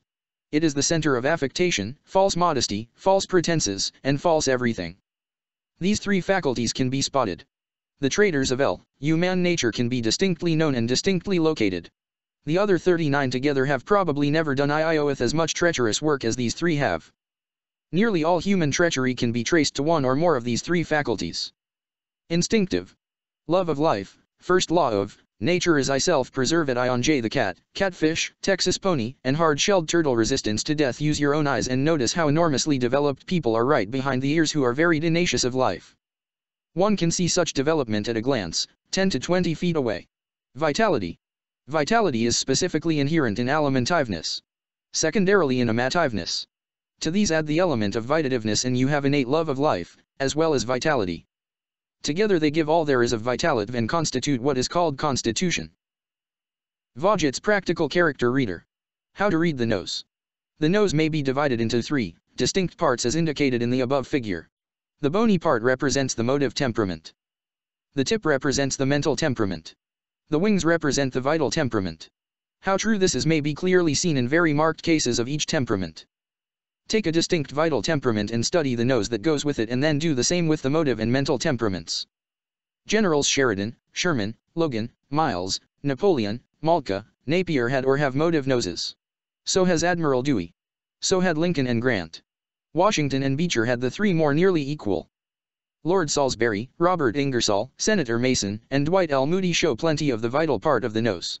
Herbert Spencer, Eugene Field, and Robert Louis Stevenson show a distinct predominance of the mental part. It is a question of the predominance of faculties. A distinct vital temperament cannot produce a mental form of nose. Noses mean something. They have direct causes. These are the faculties. They may be much mixed, but in such cases the faculties and temperaments will be correspondingly mixed. As is the head so is the temperament and as is the temperament so is the nose. People whom animals love. Some people attract animals. Why? Because they have strong friendship, parental love, and amity of any man, woman or child with these three faculties strong will attract animals. No one within back head will attract and pet animals. Fanaticism You can prove the truthfulness of the above by using your own eyes and minds. Fanaticism a fanatic is one with veneration, spirituality, conscientiousness, and approbativeness positively strong and especially veneration. There is no other way under the sun for one to be a fanatic. Handiwork. To do handiwork successfully is to possess a good degree of the following elements, individuality, size, form, weight, locality, color, order, number, and constructiveness. These are the faculties that the eyes and hands require to see objects quickly and accurately and to measure, weigh, touch, color, arrange, a sign of ignorance. All who facetiously or otherwise use the word bump when speaking of the 42 or more primary faculties that constitute human nature and use localized brain centers, expose their own ignorance. There is a world of difference between formation and bump. Absent-mindedness. With weak faculties of secretiveness, cautiousness, approbativeness, human nature, and individuality and strong faculties of causality, ideality, sublimity, spirituality and conscientiousness one will be amusingly and humiliatingly absent-minded. Superstition. Superstition has a perfectly definite source the faculty of spirituality. No one can be at all superstitious without this faculty. It is the only faculty that gives anyone any sense of and confidence in the mystic.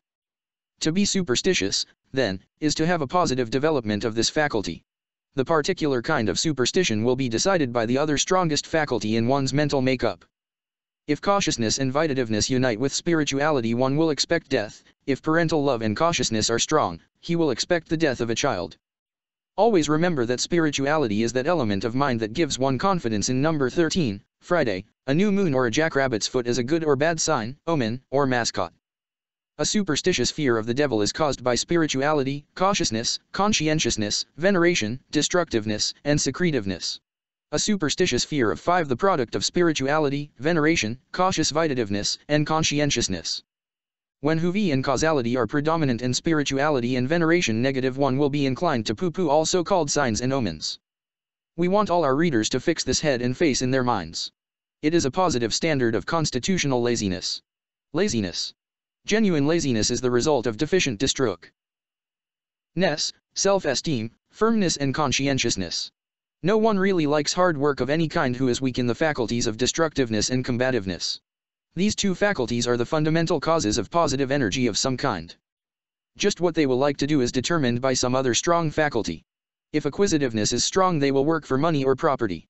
If approbativeness is strong, for fame and victory. Fear of ridicule. Failure criticism and public opinion fear of injury. Disease and death to self. Kindred and friends. Here is a whole volume of truth in a few words. Anyone can overwhelmingly demonstrate the truthfulness of this by careful observation and examination. Fear. There are two elements of fear in the human mind fear of danger and fear of criticism. These come from cautiousness and approbativeness respectively. This is absolute truth. No other part of the mind can feel an, fear whatever. Go directly then to these two. Faculties for fear. What one will fear about most is determined by the other larger faculties. Borrowing trouble. There are only two trouble borrowing elements in human v nature. All who borrow trouble must do so by means of one or both of these. All apprehension, expectation, and anticipation of a troublesome kind is produced by the elemental faculties of cautiousness and approbativeness. To understand why one borrows trouble is to understand the nature of these two mental elements. To tell in advance whether one will borrow trouble is to decide how large these two faculties are in one's makeup they can be depended upon to borrow trouble just as certainly as they are large enough and especially when they predominate over all others. Then they will borrow worlds of trouble. Other faculites may trouble one but they never borrow trouble. Hesitation. A hesitator is strongly endowed with cautiousness, approbativeness, and conscientiousness. These give one respectively, fear of danger, fear of ridicule and fear of doing wrong, and therefore hesitation. Bashfulness. Bashfulness almost wholly comes from the faculty of approbativeness.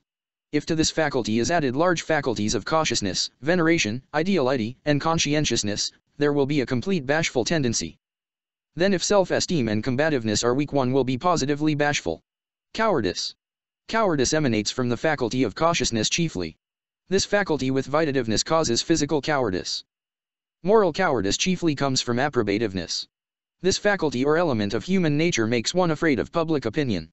The genuine, all-around coward, therefore, is weak in conscientiousness, self-esteem, combativeness, friendship, conjugality, parental love, and benevolence, and strong. The above illustration is full of meaning. Many have frightful dreams. They spring from a very active condition of cautiousness. One gets into all kinds of dangers while asleep when this faculty is very large. Reason. To reason is to have causality in comparison. No other faculties can think in any way or degree. This is a very important fact. Marvelous. The most marvelous fact in all history and in human life today is the extreme ignorance of the majority of the world's teachers concerning the constitution of human statesmen, jurists, and presidents of universe marvelously ignorant of the elements that constitution. A striking illustration of the marvelous absurdity of having a vital face and body on a mental head. Heads do not grow on bodies. The absolutely opposite is true. The head is headquarters for all else below. Faculties have their headquarters in the brain. They build the brain for their uses. That is what is is for. By means of the brain they build the body and run it. Study the illustration. Observe the non-correspondence between head and face. Did you ever see that kind of a face on that kind of a head? In a mental head the base of the brain is relatively small. When this is so it is an impossibility to possess a large vital and muscular body, because the vital faculties have their centers in the base of the brain and this must be largely developed before there can be a large vital face and body. As is the mind so is the brain and as is the brain so is the face. Where the presidential bee buzzes. The buzzing of the presidential bee is nowhere else than in the faculty of approbativeness. No further explanation is needed. Courage. There are two kinds of courage. Hence there are enters of courage. Combativeness is the center of physical courage, self-esteem of mental courage. Two together constitute the inherent nature of courage. Deceitful knows remember this knows when you deal with people. Gambling. The very center of the disposition to gamble is combativeness. The second element is spirituality. The third secretiveness. The fourth acquisitiveness. How to read character from gestures. All downward gestures mean a strong faculty of destructiveness.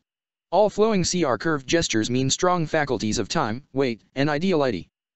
All pointed gestures mean strong perceptive faculties with combativeness, destructiveness, conscientiousness, and self-esteem back of them. All expansive gestures mean strong faculties of sublimity, ideality, spirituality, and hope. All descriptive gestures of objects mean strong perceptive faculties. All gestures mean force, feeling, imagination, and perceptive intellect stronger than causality, firmness and self-esteem. These three last named faculties give a cool, dignified, self-controlled, logical cast of mind that enables one to reason in a very calm, judicial way without giving way to force, feeling and gesture. Vaught's Practical Character Reader. Mixed heads and faces. A human being is composed of masculine and feminine faculties. Not equally, however. One may inherit the feminine faculties decidedly in the lead of the masculine. V another may inherit the 42 faculties in a reversed condition. Sometimes a whole group of feminine facul herited. When this is the case then a correspond LE degree of that part of the brain that these faculties use is built up in feminine form and also the face. This is mixed inheritance. It results in mixed heads, faces, and bodies. Study the two illustrations. The first is the opposite of the second. In it all above the line is feminine, nose, eyes, brows, forehead, and tophed. Here you see the true feminine form of head and face as far as it extends. All below the line is masculine, neck, jaws, chin, mouth, back head and back toe fed. Certain faculties are fundamentally and always masculine.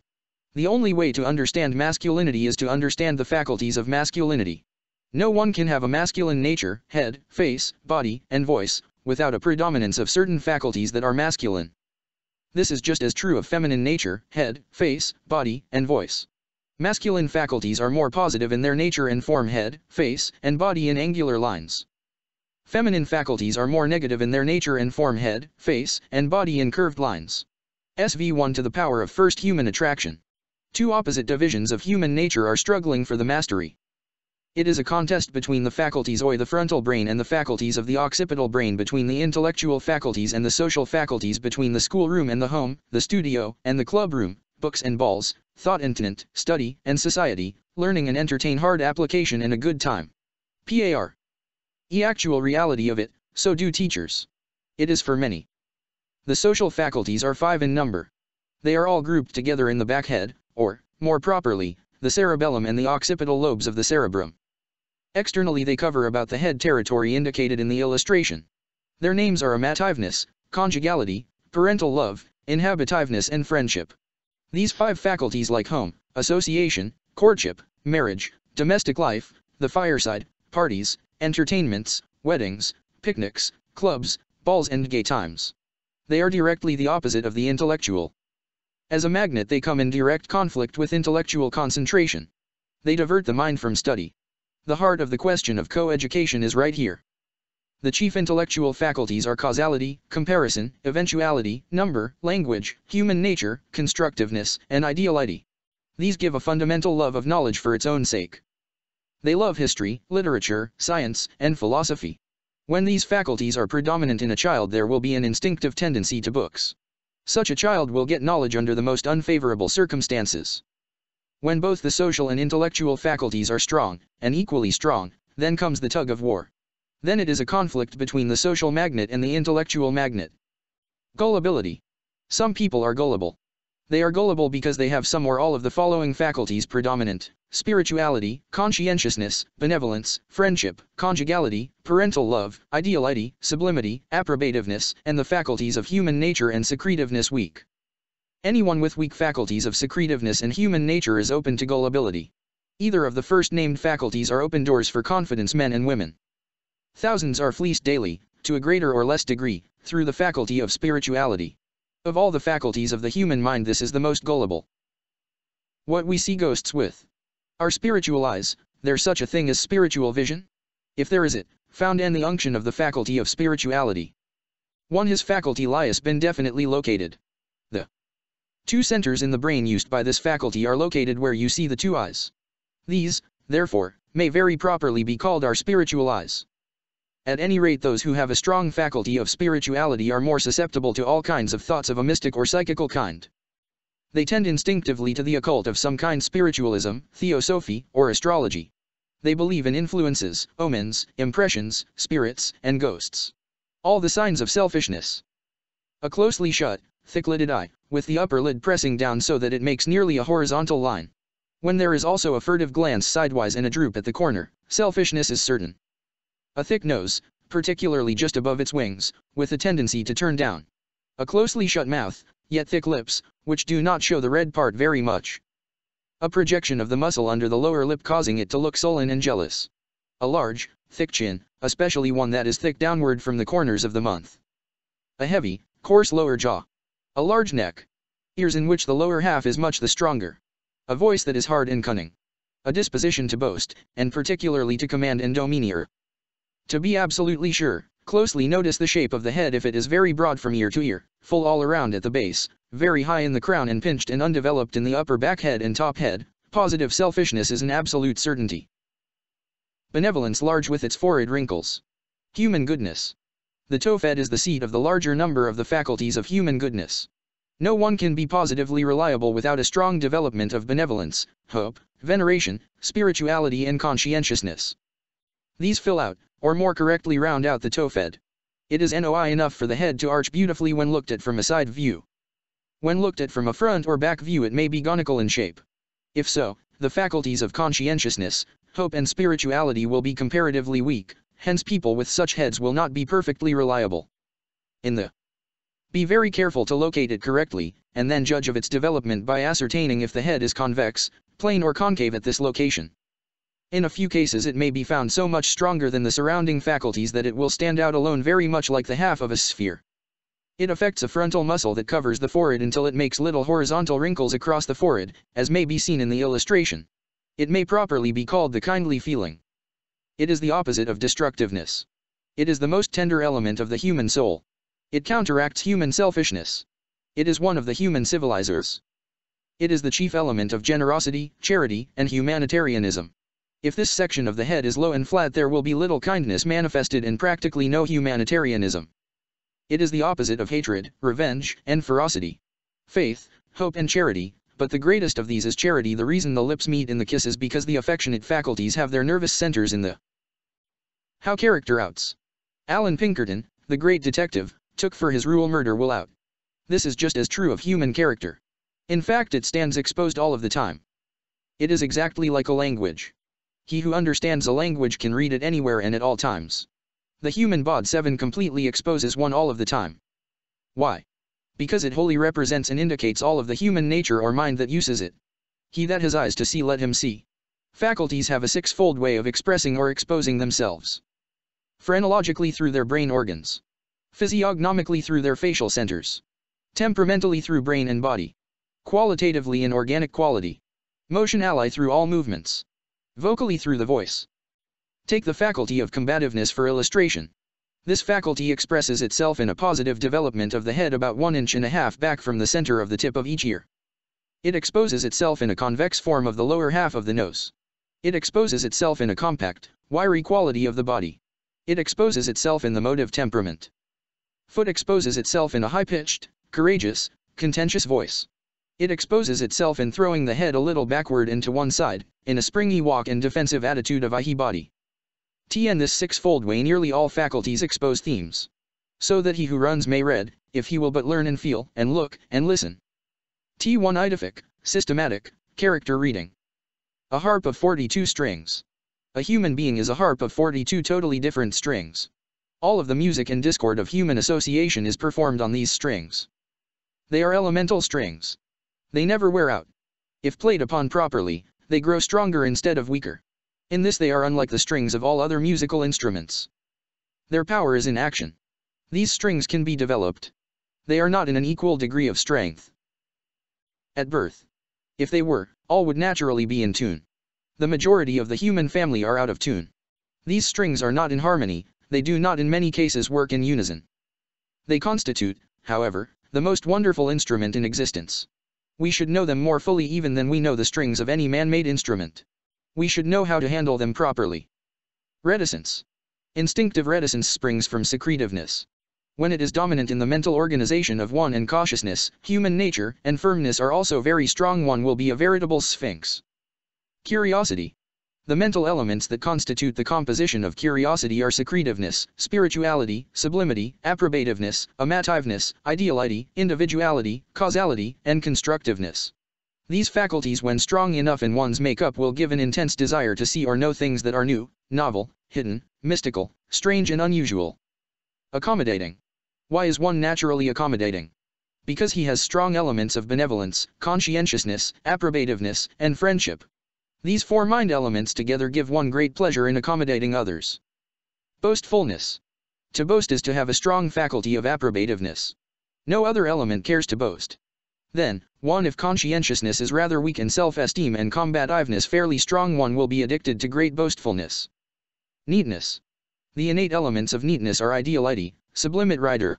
Add to these approbativeness and self to give the pride to be neat, and you have actual. Why Santa comes and how he gets here. Even an imaginary character can be fully interpreted by means of predominant faculties.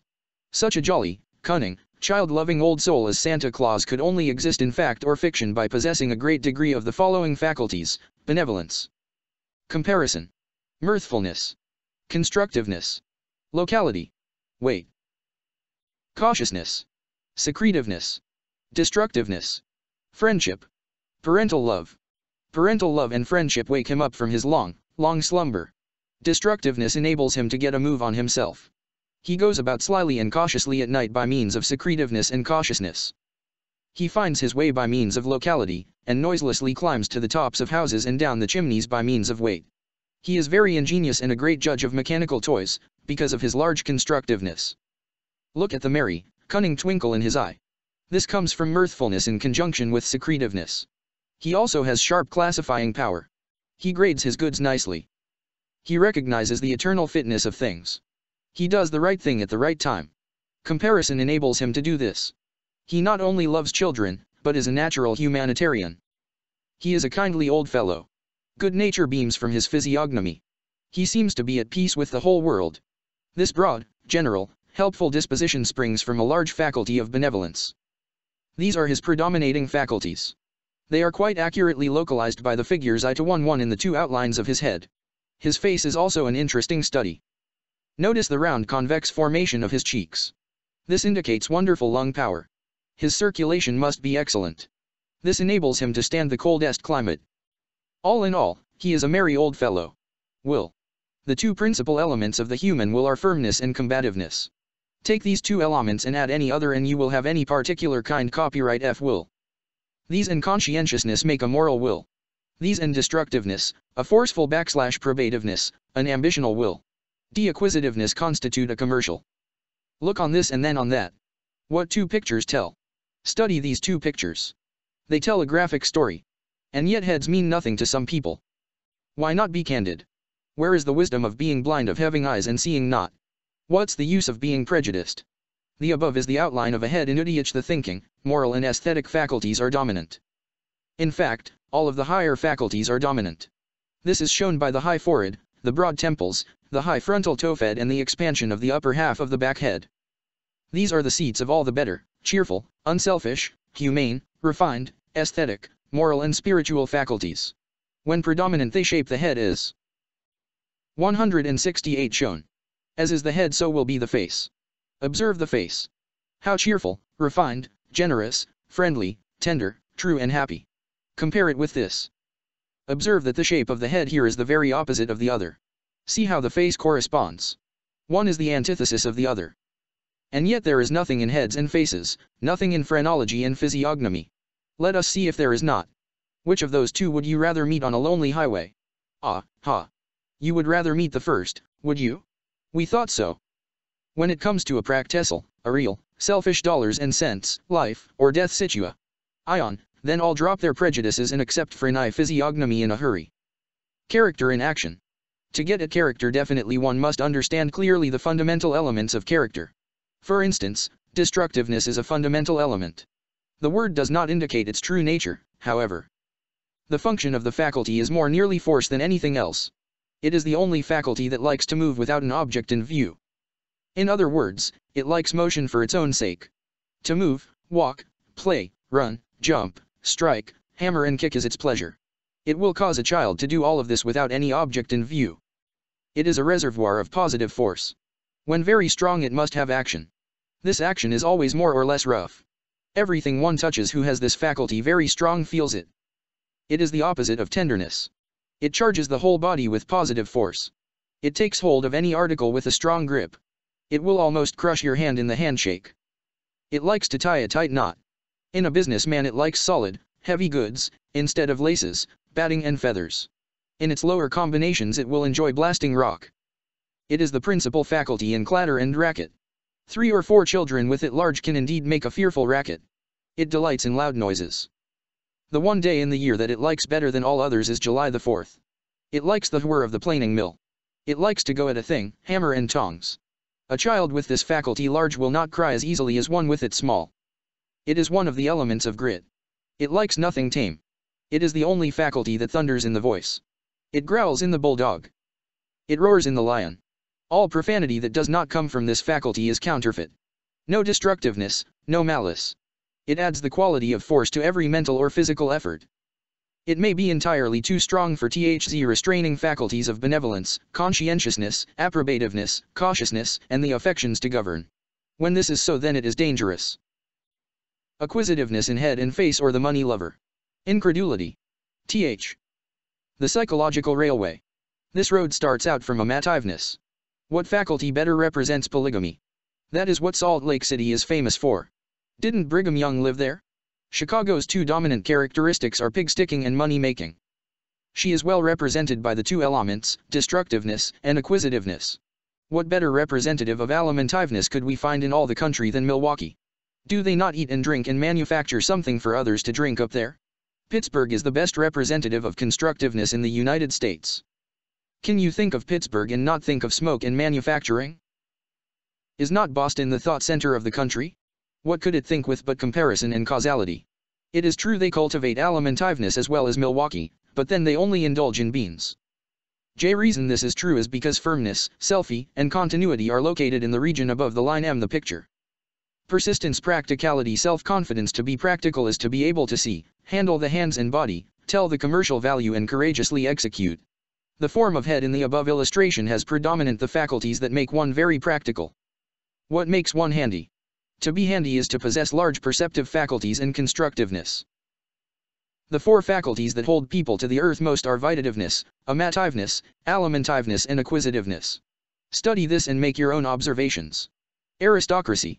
Aristocracy is an assumed feeling, the specific product probativeness and self-esteem. Here is a remarkable outline to study. The heavy outline represents a well-balanced head. The other shows very weak faculties of benevolence, self-esteem, inhabitiveness and parental love, with enormous amativeness. Just this much difference in the formation of a head will make two lives absolutely opposite in tendency and character.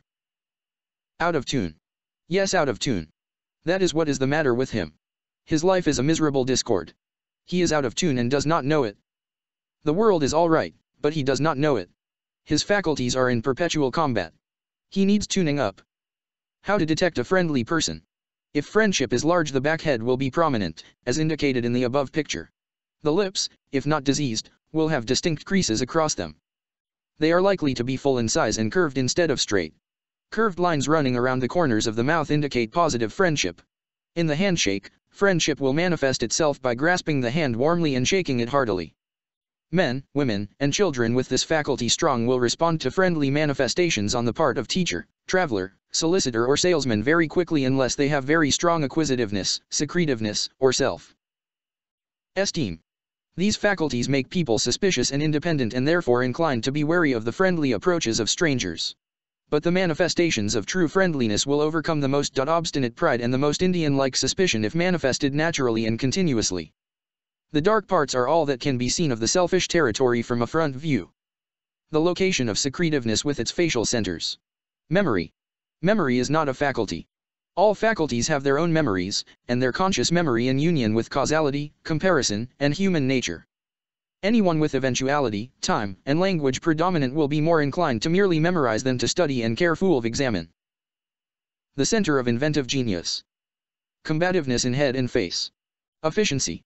To be greatly efficient is to possess all the intellectual faculties with a strong degree of self-esteem, combativeness, destructiveness and firmness to put them into use. The location of self-esteem with its facial centers. The faculties that hold the body up. Firmness. Self-esteem. Approbativeness. Combativeness. Destructiveness. Amativeness. Wait. 1. Amativeness. 4. Secretiveness. 2. Destructiveness. 5. Acquisitiveness. 3. Alimentiveness. 6. Mirthfulness. 7. Approbativeness. Eye shutters. Eyes do not close of their own accord. They are operated by faculties. Certain faculties out of the 42 of which the mind is composed have control of them chiefly, so far as shutting is concerned. There are seven of these. They are chiefly selfish in their nature. They are self-protectors. They look out for number one. Each one of the seven has its own individual effect upon the muscles of the eyelids and brows. Amativeness and alimentiveness thicken the lids somewhat like those of a pig. Destructiveness straightens the upper lid and presses it down in a hard, horizontal way. This faculty gives the stern, fierce, lowered expression to eyes and eyebrows. Secretiveness plays possum. It shuts up the eyes in a secretive, suspicious manner, acquisitiveness often unites with secretiveness and makes one more suspicious, especially concerning property or money and in this way helps close the eyes. Approbativeness causes the upper lid to somewhat droop as may be noticed in flirts and coquettes. Mirthfulness gives a merry twinkle to the eyes by contracting the lids, and forming the lines directly outward from each corner. Learn the location and function of these seven faculties and watch them operate the lids of the eyes, especially in shutting up. Don't. Please don't. I on T guess at human nature. I, on T guess at children. I on T guess at defectives. Don't guess at character building. I on T guess at mental phenomena. I on T guess at psychology. I on one guess at anything human. No W all can know by thoroughly studying the elements of human nature. 185 1. Cautiousness.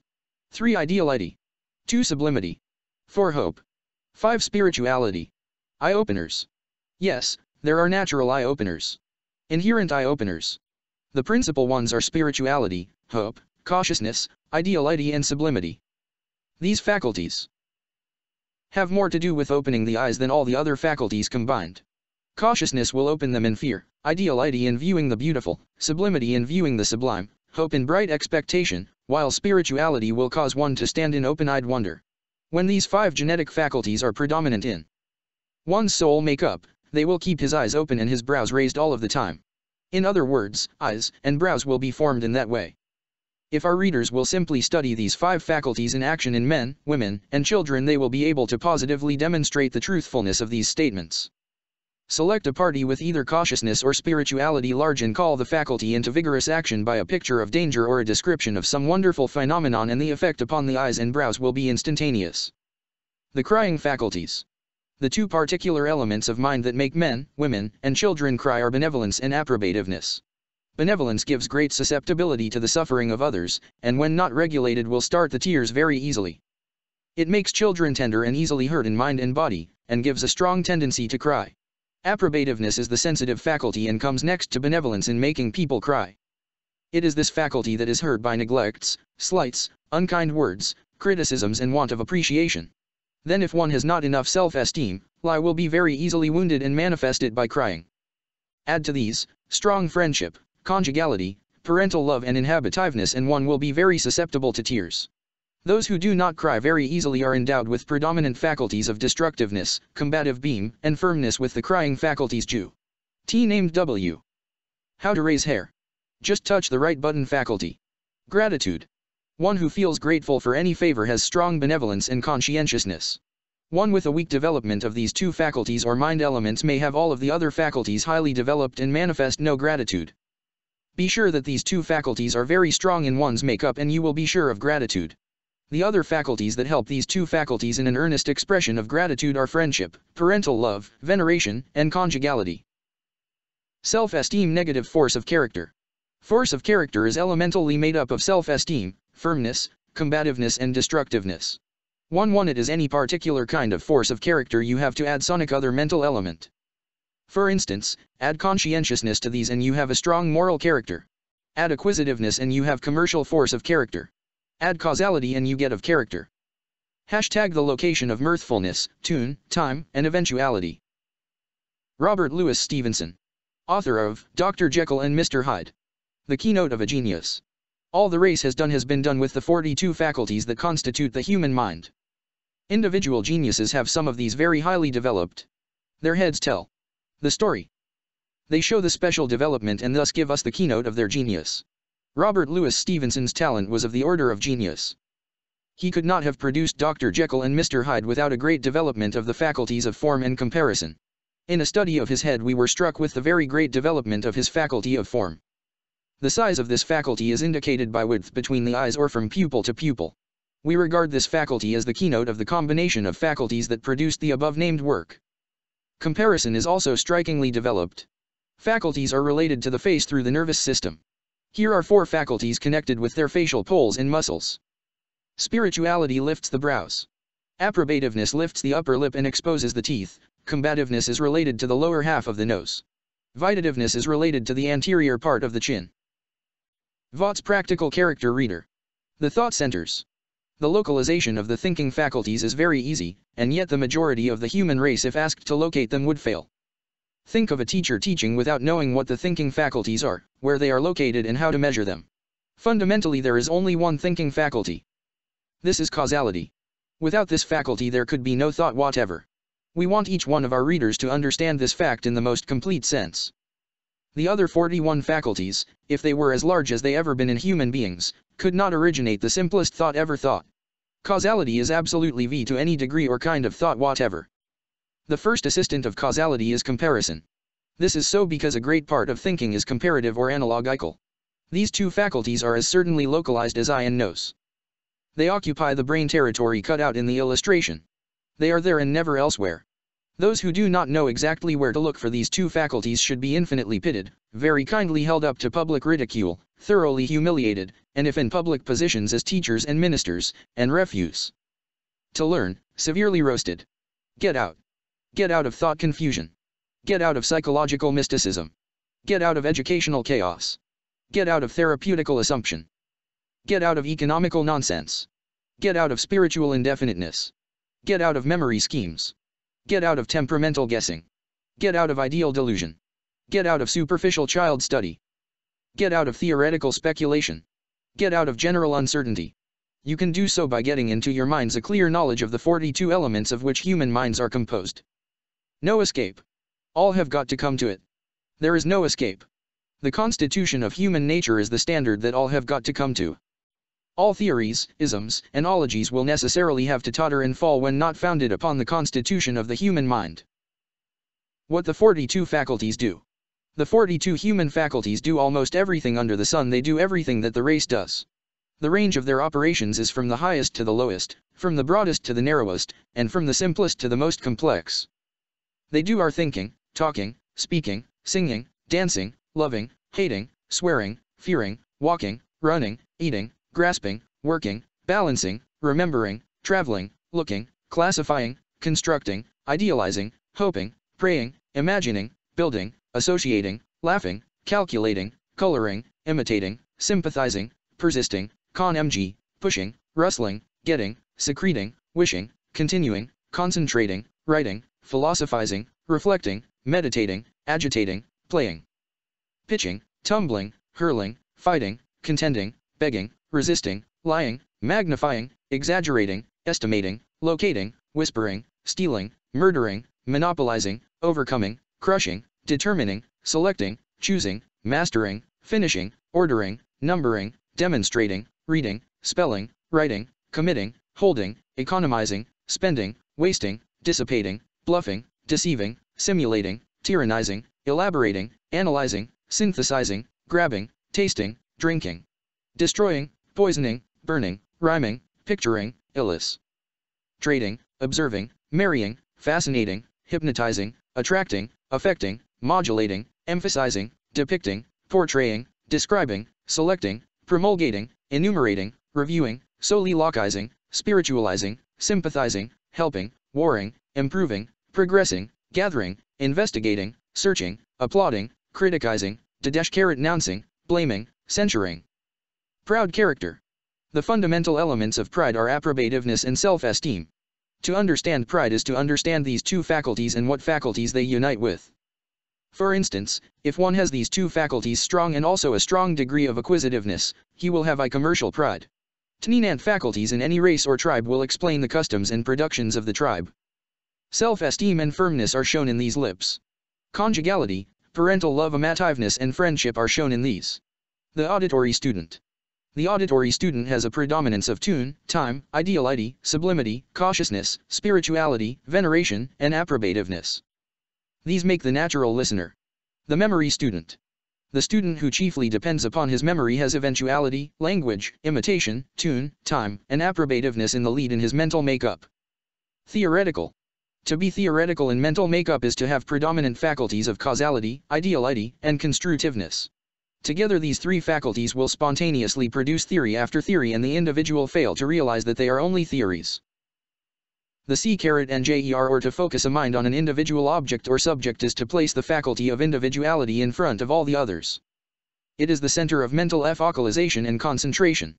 How some of the faculties affect the body. Friendship clings and warms the body. Combativeness contracts the muscles and hardens the body. Acquisitiveness grasps and pinches the body. Benevolence sheds tears and softens the body. Firmness stiffens and condenses the body. Illness shakes and enlivens the body. Iration bows and prostrates the body. Cell bloats and holds the body erect. A side view of the faculty of individuality, showing a weak development. Bluffing. There is much bluffing done in the world. It is done with secretiveness, human nature, destructiveness, and approbativeness. Sometimes firmness and self-esteem enter into it. One can only bluff because he is somewhat cowardly. If conscientiousness, self-esteem, and combativeness are predominant one will never bluff. The bluffer is usually weak in all three, but especially in combativeness. An intellectual wedge. We present above an intellectual wedge that is gur. To split open all knotty intellectual timber. It is IgE. It is in accord with the formation of M intellect. It is a fundamental knowledge we commend it to the educational world. Posum vjavut slash and conscientiousness. Conscientiousness. Reliability. Human reliability has a center. It begins somewhere. This somewhere is the faculty of conscientiousness. This is the center post of it. Always look for the center post when you look for reliability in men, women, and children. There are other elements that help make up the whole of reliable character, but conscientiousness is the trunk of the tree. Go directly up from the back part of the ear and when about 1 and 1 half inches from the center of the head sidewise, stop, and you will be on the external location of conscientiousness. When positive in the character, this part of the head will be convex in shape and when negative concave. A neutral degree of it will be indicated by flatness. This is the only faculty of human nature that is honest from principle. If this faculty is weak in one, the faculties of benevolence, friendship, self-esteem, approbativeness, veneration and cautiousness have to be very strong to keep one from positive dishonesty. Special effort has been made to show the exact location of this very important element of human character and how to detect it in head, face, and manner. It gives a clear, earnest, straightforward ring to the voice and a steady, straightforward look to the eyes. Specially study the face and head of Judge Cooley. He was endowed with a positive degree of this faculty. Vaught's Practical Character Reader. The elements and structure of will. The center post of will is firmness. Of all the faculties, this is the nearest akin to will itself. Do not misunderstand us. Will is not something in itself. It is only a temporary state of certain faculties in action, while faculties are permanent individual elements that may be immortal. Will is action, while faculty is the actor. Will may rise and fall like the tides. It is only a power of the mind that is, of faculty. No faculty, no will. Beginning with firmness as the backbone of will, we can add combativeness, and have a resistant prop. These two faculties together constitute the fundamental structure of will. They give resistant persistence. To these two we may add self-esteem, and give them confidence. Those who are positively self-confident possess one of the chief elements of will. Observe the illustration above it shows how firmness is propped and sustained by combativeness on one side and self-esteem on the other. These three faculties give us the framework of will. Without the other faculties these three will simply give the blind stubbornness and resistance of the pig and mule. Add a strong faculty of conscientiousness to these and Vaughn have blind moral will or persistent resistance to opelody and injustice. If causality and human nature are added, then we have an intelligent moral will. Way will can be definitely understood in any man, woman, or child. Holy smoke. Self-explanatory. Centers of character. Specific faculties are the center posts of distinct characteristics, talents, and powers. To hit the nail on the head, pierce the bullseye, and be fundamentally definite in character reading, all should understand these central faculties and not proceed in that haphazard, general, hit or miss way that is avoid. Able only by a thorough knowledge of all the fundamental human faculties. Firmness is the center of will. Amativeness is the center of the social evil. Destructiveness is the center of force. Benevolence is the center of humanitarianism. Ideality is the center of art. Acquisitiveness is the center of monopoly. Approbativeness is the center of jealousy. Eventuality is the center of memory. Causality is the center of thought. Conscientiousness is the center of morality. Parental love is the center of parentage. Cautiousness is the center of fear. Human nature is the center of intuition. Individuality is the center of observation. Constructiveness is the center of invention. Spirituality is the center of occultism. Mirthfulness is the center of comedy. Friendship is the center of association. Vitativeness is the center of constitution. Veneration is the center of religion. Tune is the center of music. Self-esteem is the center of personality. Suit the gesture to the faculty. In elocution and oratory one should suit the gesture to the faculty. Don't make yourself ridiculous by using me that belongs to destructiveness when you are using t-delity, and for heaven's sake don't try to make one kind of gesture suit all of the faculties. Here is another picture of a dangerous man, especially along the immoral and sensual lines. Get right at it. Don't theorize, don't speculate, don't assume. Get right at the elements of it. The elements of what? Of mind.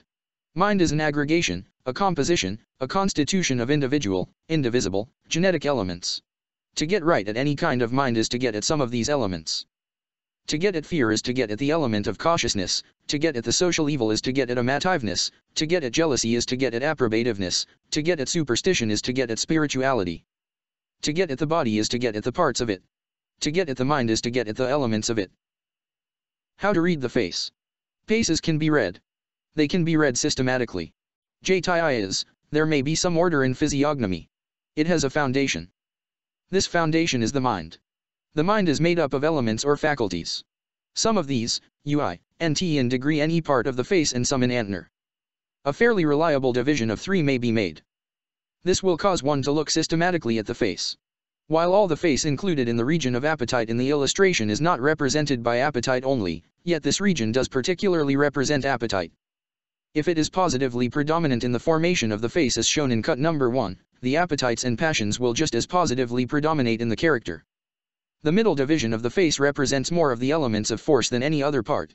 While not all of force is shown here, it may be safely taken as the distinct region of force.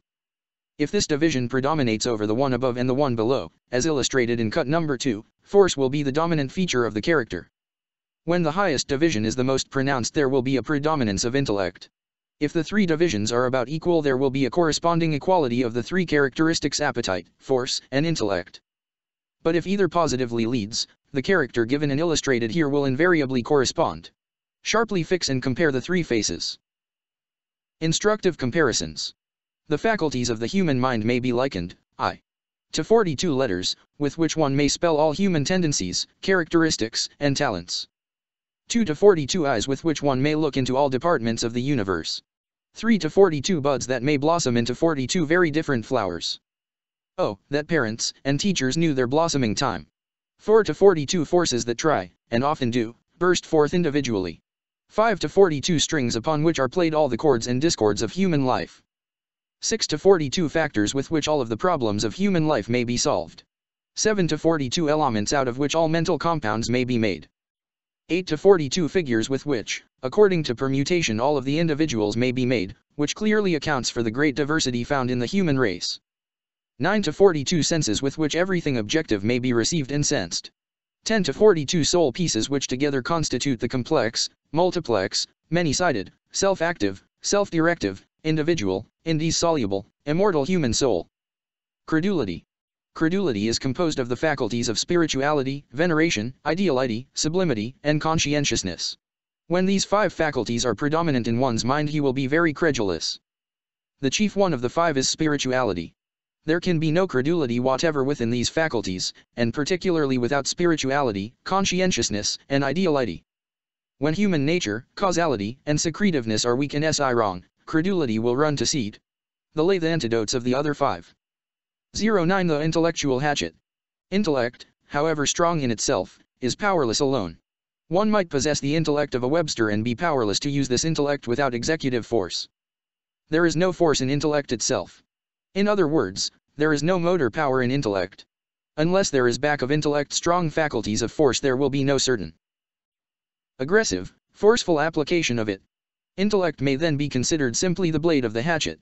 It may be very sharp, it may be ready to cut, yet it will not cut unless there is power to drive it.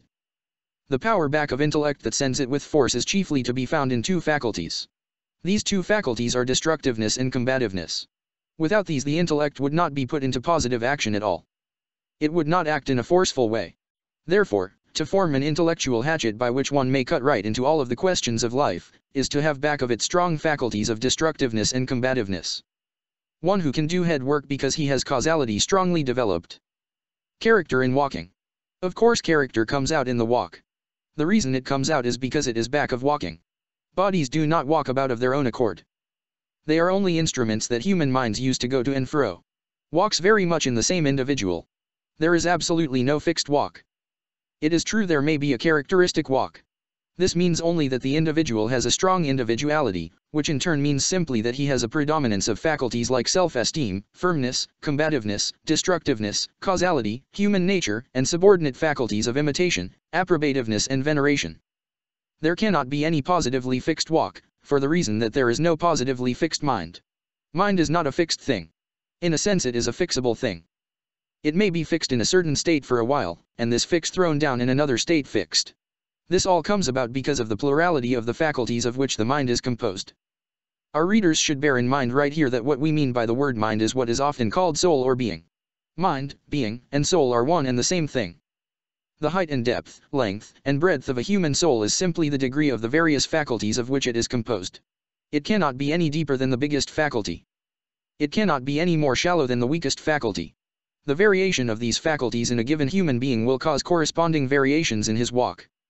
Faculties that take the lead in the mental states must necessarily to that degree govern the muscular system of the body by means of which he walks. To get a move on oneself is to get some of the movers of the mind into action. To get a fearful move on oneself is to put cautiousness back of the muscles. One can get over a fence and up a tree under the influence of this faculty in a hurry, with a med bull behind him, but not in the same way that he would move when on dress parade under the faculty of approbativeness. This is the stuck-up faculty that makes men mince their walks. It is the most mincing faculty that we have. All minced, affected walks spring from this faculty in the lead. If it is assisted by a strong faculty of amativeness, there is an addition of wriggling to mincing, and both are somewhat infected with affectation. To understand character in the walk, therefore, is to know the faculties that are in action that produce the different kinds of walks. All physical movements of a natural kind are the products of the various faculties in action. There are unsubstantial walks. They show want of force, decision, courage, confidence, and self-control. In such cases the feelings predominate. If a man or woman walks under the dictation of the faculties of firmness, self-esteem, conscientiousness, human nature, causality, individuality and amativeness, he or she will have a very distinct, decided, self-reliant, positive, courageous, forceful, intelligent walk. If they are dominated by cautiousness, approbativeness, veneration, and benevolence, the walk will be of an entirely different nature. It will be of a careful, respectful, deferential, subdued kind. There will be nothing in it that is bold, positive, and independent. There could not be if these four faculties predominated. The human body then may be called a very flexible instrument in the hands of the various faculties. It is made to do all kinds of things. It has no tendencies nor desires of its own. There are, strictly speaking, no tendencies of the flesh. The body does not contain any faculties. It is only an organism through which faculties manifest themselves. The faculties have, in all normal instances complete control of it. They bend it this way and that. They simply operate it. They operate it much more successfully and freely than the engineer operates his engine. They are closer to it, by far, than any man can get to a mechanical instrument. The relation between faculties and the body are the most intimate. They have grown up together. They are far more intimately and delicately connected than were the Siamese twins. By means of the muscular and nervous systems all kinds of movements are made. T.S. TIN's action takes place in the brain, other words, in the organs of the faculty. By LS of the nervous system this action can be trans. All over the body. When one is aroused in the faculty of destructiveness, which is the faculty of force per se, this may come out in a forceful way, via the fist or foot. In other words, by means of the nerves and muscles of the arm and leg one is able to strike or kick under the dynamic force of destructiveness. This is the center of striking, kicking, pounding, crushing force. Those who have this faculty decidedly predominant walk in a manner that can be appropriately called the walk right through spirit. Every motion is forceful. Forward is in each motion. They go forward. They go directly forward. They go forward positively. They go forward somewhat as a projectile is driven by a heavy charge of powder. This can be clearly seen in the walk. The walk is not tame. It is rough. Such people will get through a crowd by main force and awkwardness. They drive their bodies through. They make a roadway. If the perceptive faculties are strong they quickly see how to get through. They are quick to take advantage of an opening. They constitute a forceful wedge. In football the flying wedge is made up of such characters. All have come in contact with them, especially in crowds. On the streets of Chicago they may be met. They usually get the right of way. They take B lines to their destination. Combativeness has not the same driving power as destructiveness. It comes out in a different way. It makes a different walk. It runs the body in a different manner.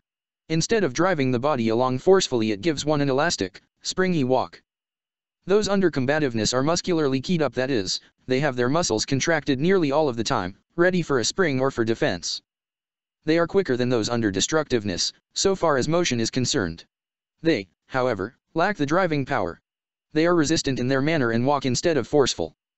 If you crowd them they will push back. They do not make roadways in a crowd as do those with large destructiveness.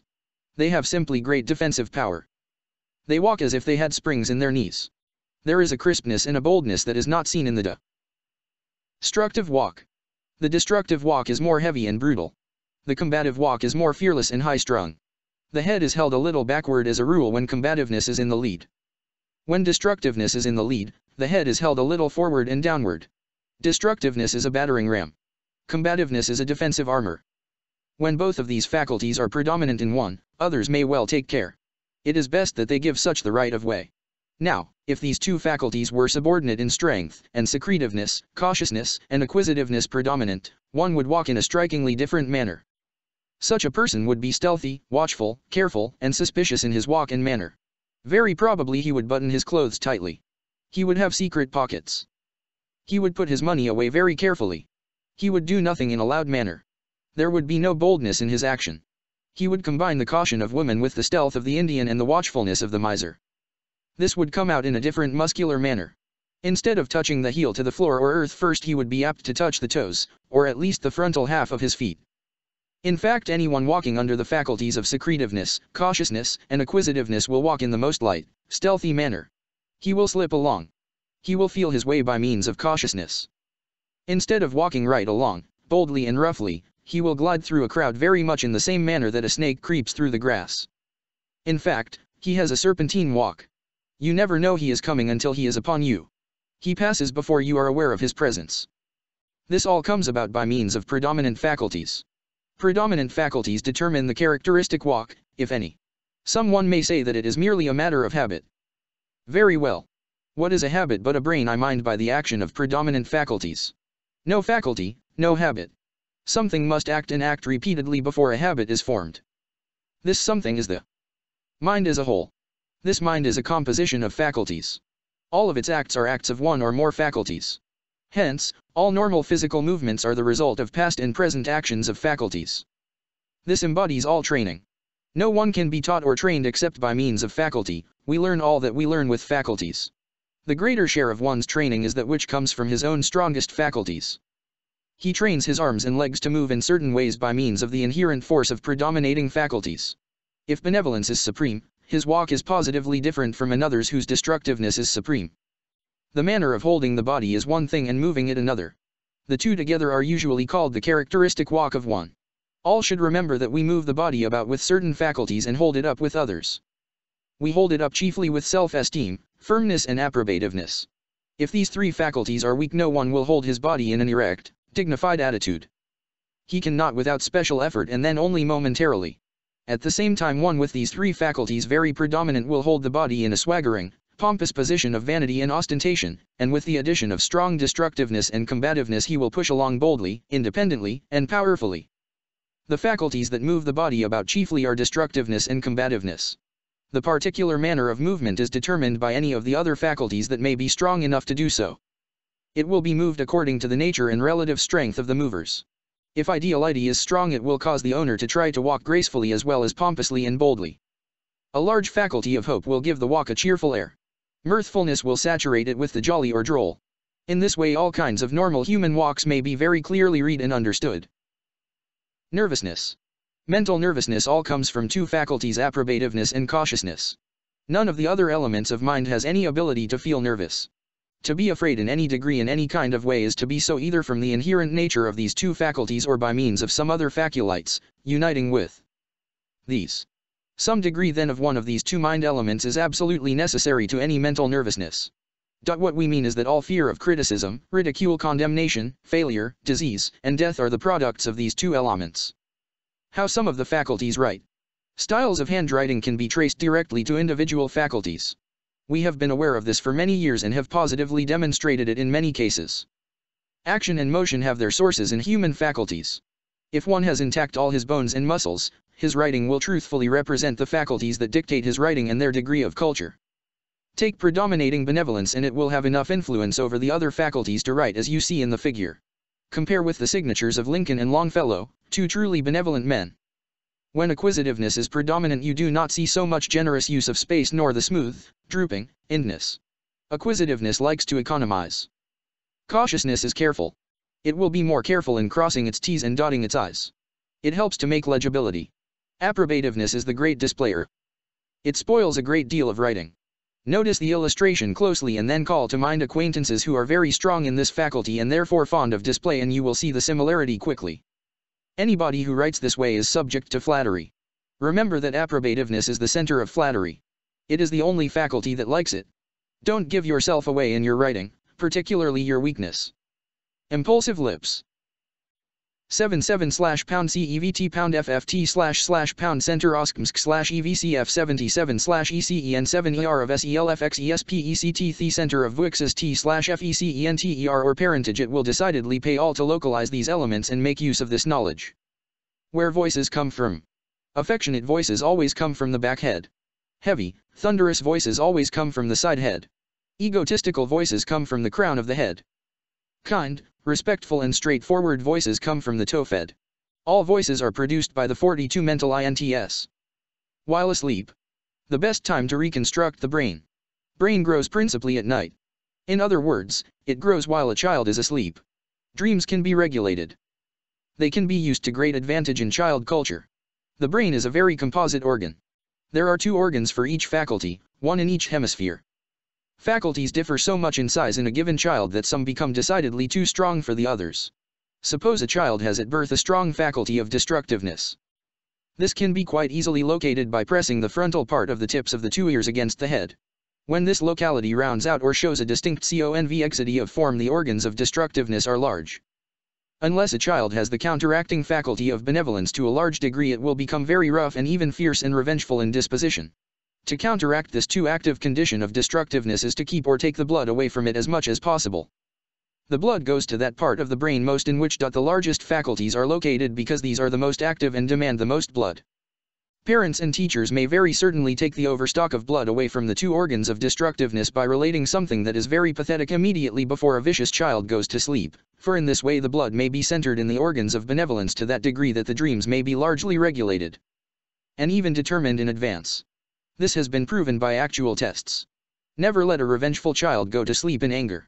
Always take the blood largely out of the organs of destructiveness by vigorously calling into action any of the counteracting faculties of this faculty, as friendship, benvo, lens, cautiousness, conscientiousness.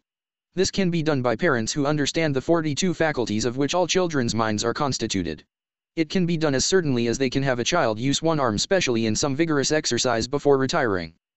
General experimenting in child culture J is no longer necessary. Pointed points about character reading. A large head does not always indicate a large brain. The size may be made up largely of hair, scalp, fatty tissue, and skull. Phrenology has been blamed for a great many deformed heads. A head that has been deformed at birth phrenology is not responsible for. A little learning is a dangerous thing right here. A one-sided view of a human head is not nearly reliable, so far as honesty is concerned. A head may be beautifully symmetrical from the nape of the neck to the root of the nose from a side view, and at the same time be roof-shaped when looked at from a front view. Such heads are not necessarily honest, spiritual, nor moral. To read human character definitely, is to understand the human faculties, and measure each one as it is developed in the brain. Human anatomy is largely reliable, because the different parts of it can be definitely located. Phrenology is reliable as an art for the same reason.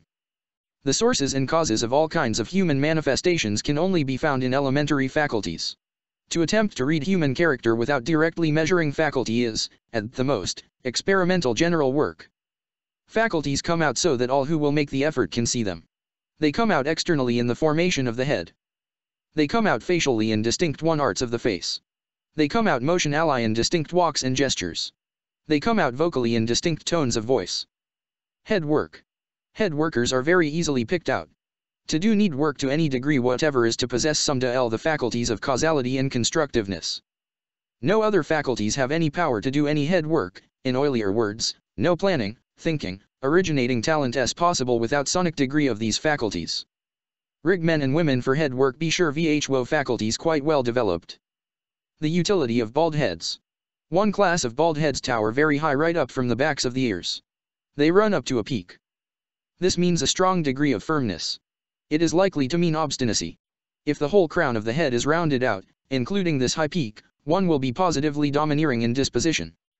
Any young woman who marries a young man or a man with a bald head like this will find that she has a very domineering, egotistical character to deal with. If this region of the head is very deficient, one will be correspondingly deficient in self-reliance, persistence and ambition. Such may have excellent talent, but not the determination and confidence to put it into execution.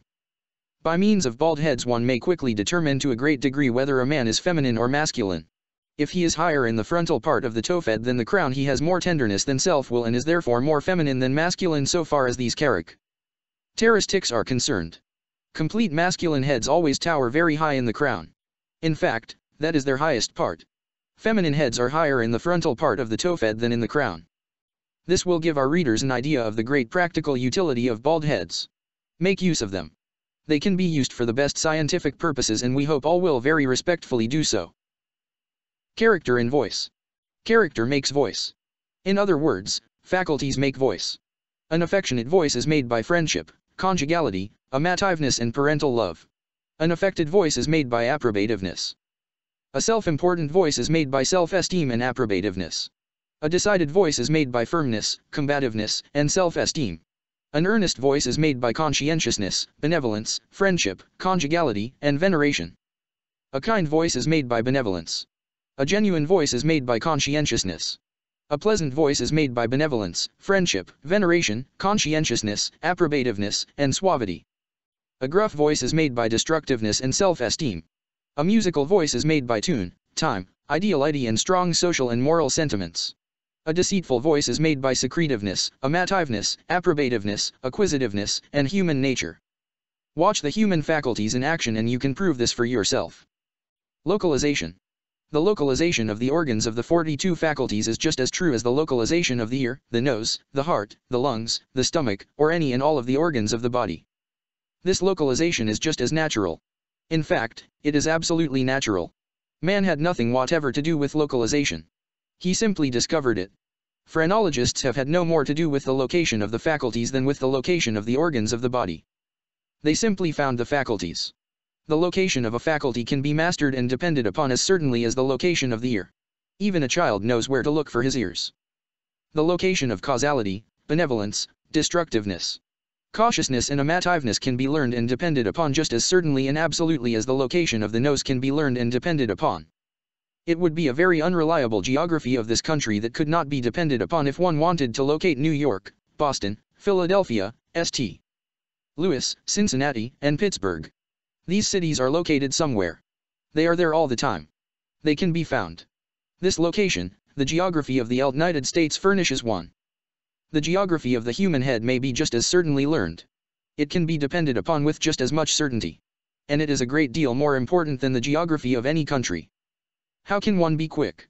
To be quick is to have a predominant degree of combativeness, human nature, individuality, self-esteem, firmness, eventuality, destructiveness, weight, amativeness, comparison and language. These faculties give quick observation, quick movements, quick decision, quick expression, quick memory, and quick thought. Then, when the slow faculties cautiousness, causality, approbativeness, conscientiousness, order, ideality, continuity, veneration are weak, one will be very quick. Easily upset. Many people are easily upset. They get rattled easily. They lose presence of mind. They fly off one lie handle. They lose their grip. Why? Because they have a weak development of certain fundamental faculties whose business is to give one self-control. We say certain faculties purposely. Only certain faculties possess the power to give one self-control. They give one this power by virtue of their nature. It can come from no other source. If these faculties are not strongly developed, no one on earth will have self-control.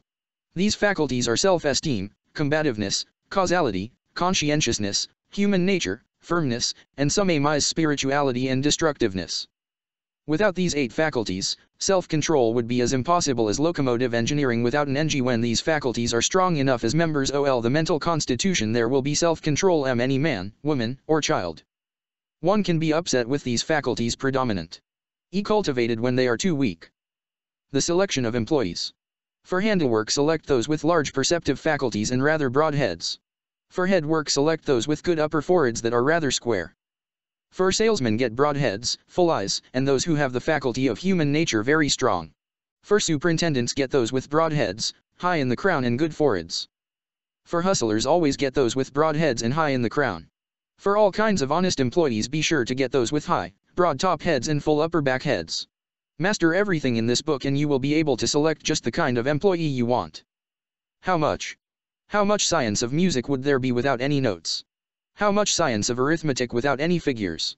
How much science of chemistry without any elements?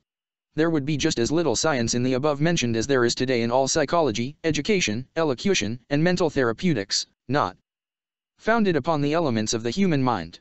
When you get tired flopping round, teachers, preachers, psychologists, and all, when you get tired of stumbling and grumbling, changing, and guessing and tumbling, just build on the mental constitution DIVL your building will not fall.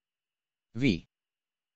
Vaught's practical character reader, the composite of the ten selfish faculties, showing them predominant in head and face. Where to look.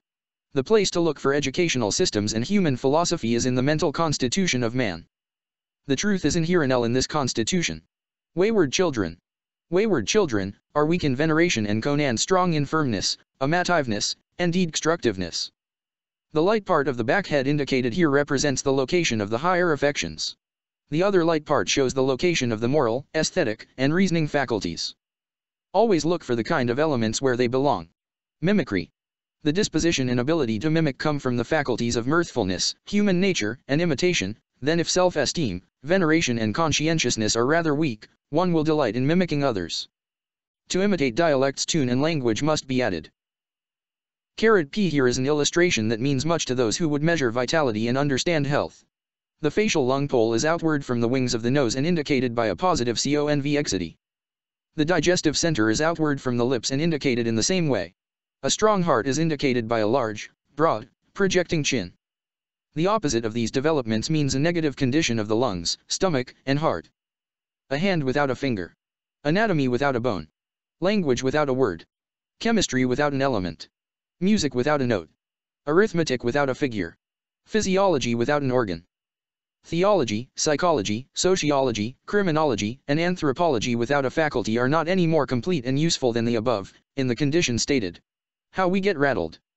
All things have specific beginnings. The mental state that is denominated rattled can come about only by the action of one or more of three faculties conscientiousness, approbativeness, and cautiousness. We get rattled from a sense of guilt when it is suddenly presented to us by means of conscientiousness, this is not a frequent condition, however. We get rattled by fear when cautiousness is suddenly excited. The majority, however, get rattled by an intense, overwhelming action of approbativeness. This is the dominant faculty in the majority of cases of rattles. It is that faculty that embarrasses one principally. It is the most confusing faculty when excited that we have. To lose self-possession is to principally let this faculty dominate one. When the three together positively predominate one is very easily rattled. He is easily excited and confused by means of conscientiousness and approbativeness if he simply imagines that another thinks he is guilty. Cautiousness is apt to aggravate the case. All can rest assured that these three faculties are the only ones that will rattle one. To regulate them properly is to possess or cultivate to a predominant degree the faculties of causality, human nature, firmness, self-esteem and combativeness. Firmness in head and face. The above illustration shows the location of the six elements of human goodness. These are wholly good because they desire the welfare of others, and have no selfish axes to grind. They are parental love, conjugality, friendship, conscientiousness, veneration, and benevolence. They exalt human nature and lift men and women into the sphere of disinterested goodness. These elements can be found nowhere else. Without them mankind would be absolutely selfish. Can you unlock it? Do you know the names of the doors of the human mind? Remember that you must have a different key for each door. One mind key will not unlock another door of this mind building. Look for faculties. I, oh you know where to look for one's ears? Then you should know where to look for one's faculties. Faculties are not like fleas. You can put your fingers on them and you know where to look for them, and if you do not know you ought to feel so ashamed of your ignorance that you cannot sleep well till you learn where they are. Anyone who would be ashamed to not know where his, 6 mid be exceedingly more ashamed to not know where his faculty of destructiveness is. Learn the localization of the faculties and then when you look at a head backslash O you will see something more than hair, scalp, scars, stations, lumps and sutures. 33 The framework of human character. Study it. A natural scale. Based upon the three natural principles of formation, to wit convex, plane, concave. Each of the 42 faculties uses two brain organs. Both of the brains, the big brain and the little brain, or the cerebrum and the cerebellum, are double. The sense of hearing has two end organs, the two ears. The sense of vision has two end organs, the eyes. There are not two senses of vision nor two senses of hearing. Each simply has a double apparatus through which asterisk it can perform its function. The same is true of the 42 human faculties. The organs of these faculties are definitely localized. They are just as definitely located as the eyes and ears. They are just as real. How to measure mom is seemingly the most difficult thing. The difficulty is largely in the seeming, however.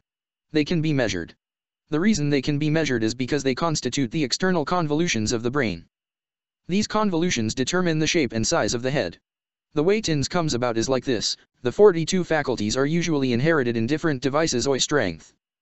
Some are positive and some are neutral and some are negative. In other words, some are very strong, others fairly strong and others quite weak. All the positive faculties build corresponding positive organs. The positive organs always come to the surface. They not only come to the surface but project themselves. In shape they grow into convexity of form. This is a universal law. Everything that is positive becomes convex in form. Convexity of form, therefore, is universally indicative of a positive power back of it. It could not take the convex form without this positive power back of it. A positive faculty, therefore, builds positive brain organs which necessarily become convex in form. Above the brain organs is the skull, which in every healthy, natural case is simply a protective covering of the brain. In a healthy child, man, or woman it exactly conforms to the brain. It is the servant of the brain. It does not grow into any shape of its own accord. There is no hereditary design in it. It is simply formed according to the needs of the brain beneath it. If there is a positive faculty, there will be positive brain organs, and these positive brain organs take convex forms, and above these convex brain organs there will be skull formations that are correspondingly convex. If this special faculty is very positive the brain organs will necessarily be the same, and if the adjacent faculties are neutral or negative the external head over the organs will be flat, and hence the positive organs will stand out boldly in a convex form simply because they are so much stronger than the surrounding organs. If an adjacent faculty is negative, there will be a negative development of its brain organs, which will fail to come to the surface of the brain in the round, convex way that positive organs do, and hence will fail to build convex formations of skull above. Instead there will be distinct concavities. Natural concavities, then, are universally indicative of negative faculties. If any faculty is simply neutral in strength it will build brain organs that are correspondingly neutral. Above this the skull will be plane. It will be neither convex nor concave. These three principles will explain completely all kinds of head shapes. If all of the 42 elements are positive, they will build positive organs, which results in a convex skull all around. If one group of faculties is positive it will build that part of the brain that it inhabits correspondingly strong. This may be the social faculties in the posterior lobes, the selfish faculties in the temporal lobes, the intellectual faculties in the frontal, or the moral faculties in the coronal. When this is true there will be one section of the external head that is convex and which stands out boldly. The unequal degree of the 42 faculties is therefore the cause of the unequal formation of the brain and skull. There is no other natural cause. Head shapes, then, are absolutely, when natural, the products of the various faculties. Cut illustrating the three principles. The greatest representatives of individual faculties. The 42 men and women named below represent the strongest degree of each human faculty so far manifested by the human race. To give our readers a pointed illustration of the highest or strongest development of an individual faculty in the human race, we have sought to find men and women who have been so predominantly endowed with a single faculty that it determined their genius. No human being without a good tofed need ever claim to be honest, kind, religious, moral, spiritual, or philanthropical. So in every case, whether it be in business, love, or church, if anyone claims to be good, generous, honest, sincere, and trustworthy, you may put it down as an absolute fact that he is a hypocrite unless he has a full tofed. One cannot get something from nothing. Liars. Liars lie by means of certain faculties, and always so. The positive lying faculties are approbativeness, sublimity and secretiveness. These faculties, unless governed, will instinctively stretch the truth. They will exaggerate, they will not tell a lie of their own accord of a mean, selfish, vicious kind, but will simply lie for fun and from an innate desire to exaggerate. These three faculties are the chief ones in the serpent, big fish, big snake, big battle and all, colossal lying.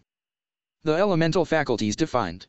Individuality, form, size, color, eventuality, time, tune, number, order, weight, comparison, spirituality, hope, approbativeness self-esteem, firmness, an elemental faculty that perceives the individual existence of things and thoughts. An elemental faculty that perceives shapes. An elemental faculty that perceives dimensions. An elemental faculty that perceives colors. An elemental faculty that notices events. An elemental faculty that watches time as it passes. An elemental faculty that senses the concord of sound waves. An elemental faculty that perceives number. An elemental faculty that likes orderly arrangement of things. An elemental faculty that senses the attraction of an object to the center of the earth. An elemental faculty that compares thoughts and things. An elemental faculty that senses that which is spiritual. An elemental faculty of cheerfulness. An elemental faculty that seeks the praise of others. An elemental faculty that esteems self. An elemental faculty that persists. Conscientiousness continuity, inhabitiveness, friendship, conjugality, parental love causality, ideality, human nature, vitativeness, combativeness, destructiveness, secretiveness, cautiousness, alimentiveness, acquisitiveness, benevolence, veneration, an elemental faculty that likes right and truth. An elemental faculty that desires to continue that which the other faculties have started. An elemental faculty that loves the place where one lives. An elemental faculty that forms friendships. An elemental faculty that loves one. An elemental faculty that loves babies. An elemental faculty that conceives the cause and effect relations between things. An elemental faculty that perceives beauty. An elemental faculty that perceives character. An elemental faculty that gives an inherent desire to live. An elemental faculty that combats opposition. An elemental faculty of forceful action. An elemental faculty that likes to hide thoughts and things. An elemental faculty that feels fear. An elemental faculty that enjoys eating. An elemental faculty that desires to possess property of some kind. An elemental faculty that sympathizes with suffering. An elemental faculty that worships. Amativeness, sublimity, imitation, suavity, mirthfulness, constructiveness language, locality, an elemental faculty that gives amative love of the opposite sex. An elemental faculty that senses grandeur. An elemental faculty that desires to imitate.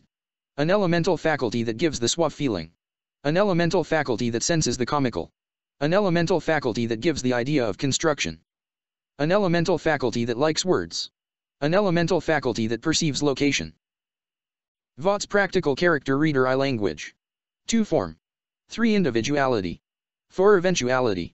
5 comparison. 6 human nature. 7 benevolence. 8 veneration. 9 firmness. 10. Self-esteem. 11 continuity. 12 inhabitiveness. 13 parental love.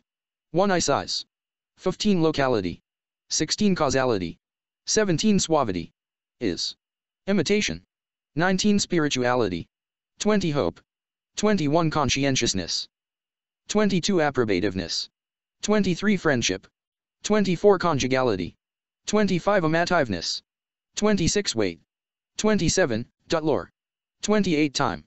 29 mirthfulness. 30 ideality. 31 sublimity. 32 cautiousness. 33 secretiveness. 34 combativeness. 35 vitativeness 36 order 37 number J8 tune 39 constructiveness 40 acquisitiveness 41 alimentiveness 42 destructiveness some instruction in regard to the external location of the 84 organs of the 42 faculties. The lowest faculty in position is amativeness. This is located in the cerebellum and can easily be detected externally. Start directly backward from the orifice of the ear and about 1 inch back of the bone behind the ear you, as a rule, find the location of amativeness. There is often a fissure that can be seen and felt immediately above it. This is the external indication of the separation between the cerebellum and the cerebrum. Amativeness is also on each side of the occipital protuberance that may be seen or felt on the lower back head of many. The center of parental love is about 1 inch above this occipital protuberance and on a horizontal line from the tip of the ear back. Inhabitiveness is immediately above parental love and directly below the suture, perceptible on many heads, that unites the occipital bone and the two parietal bones. Observe closely some man with a bald head and you can see this distinctly. Immediately on each side of inhabitiveness and just where the back head rounds off forward and backward is the location of friendship. Immediately below friendship on each side of parental love and directly above the center of amativeness, is the location of conjugality.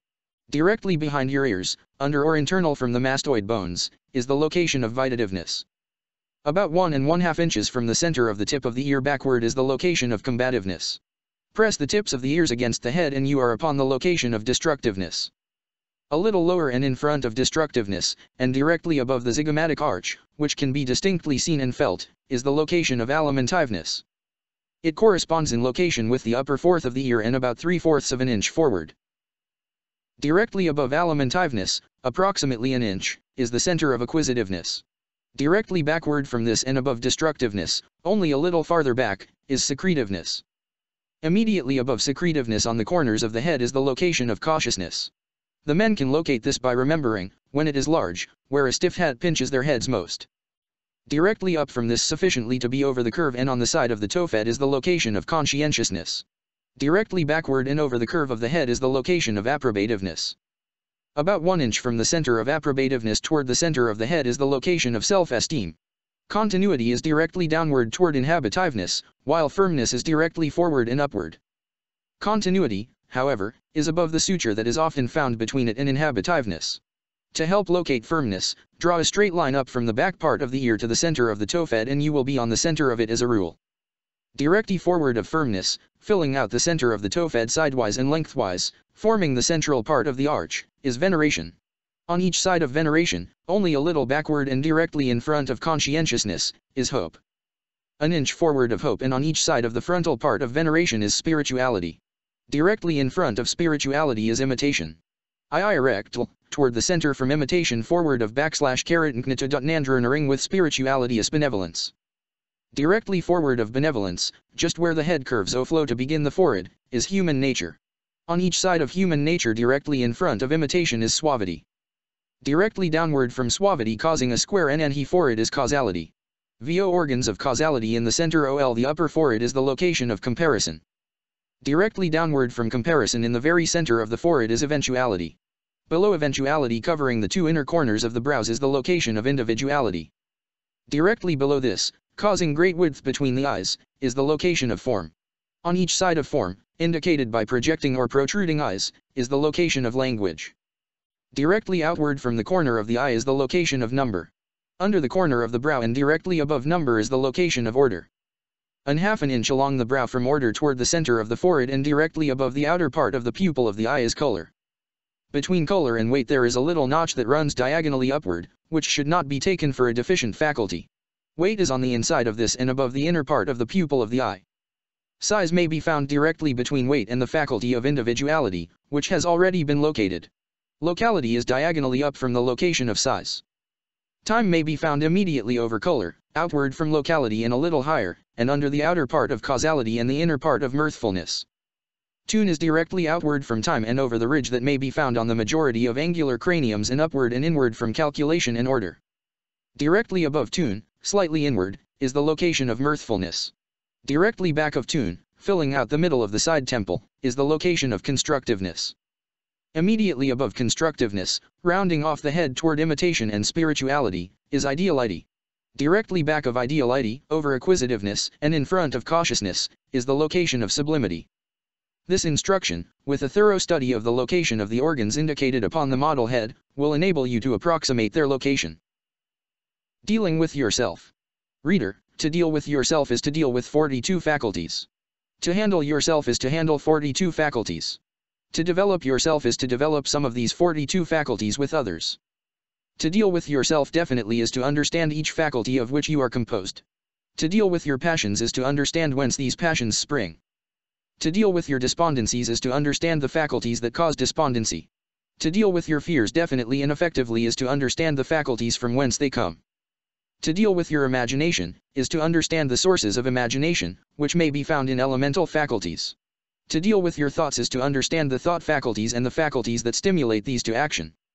When you fully understand the exact nature of each faculty you can definitely and successfully deal with yourself.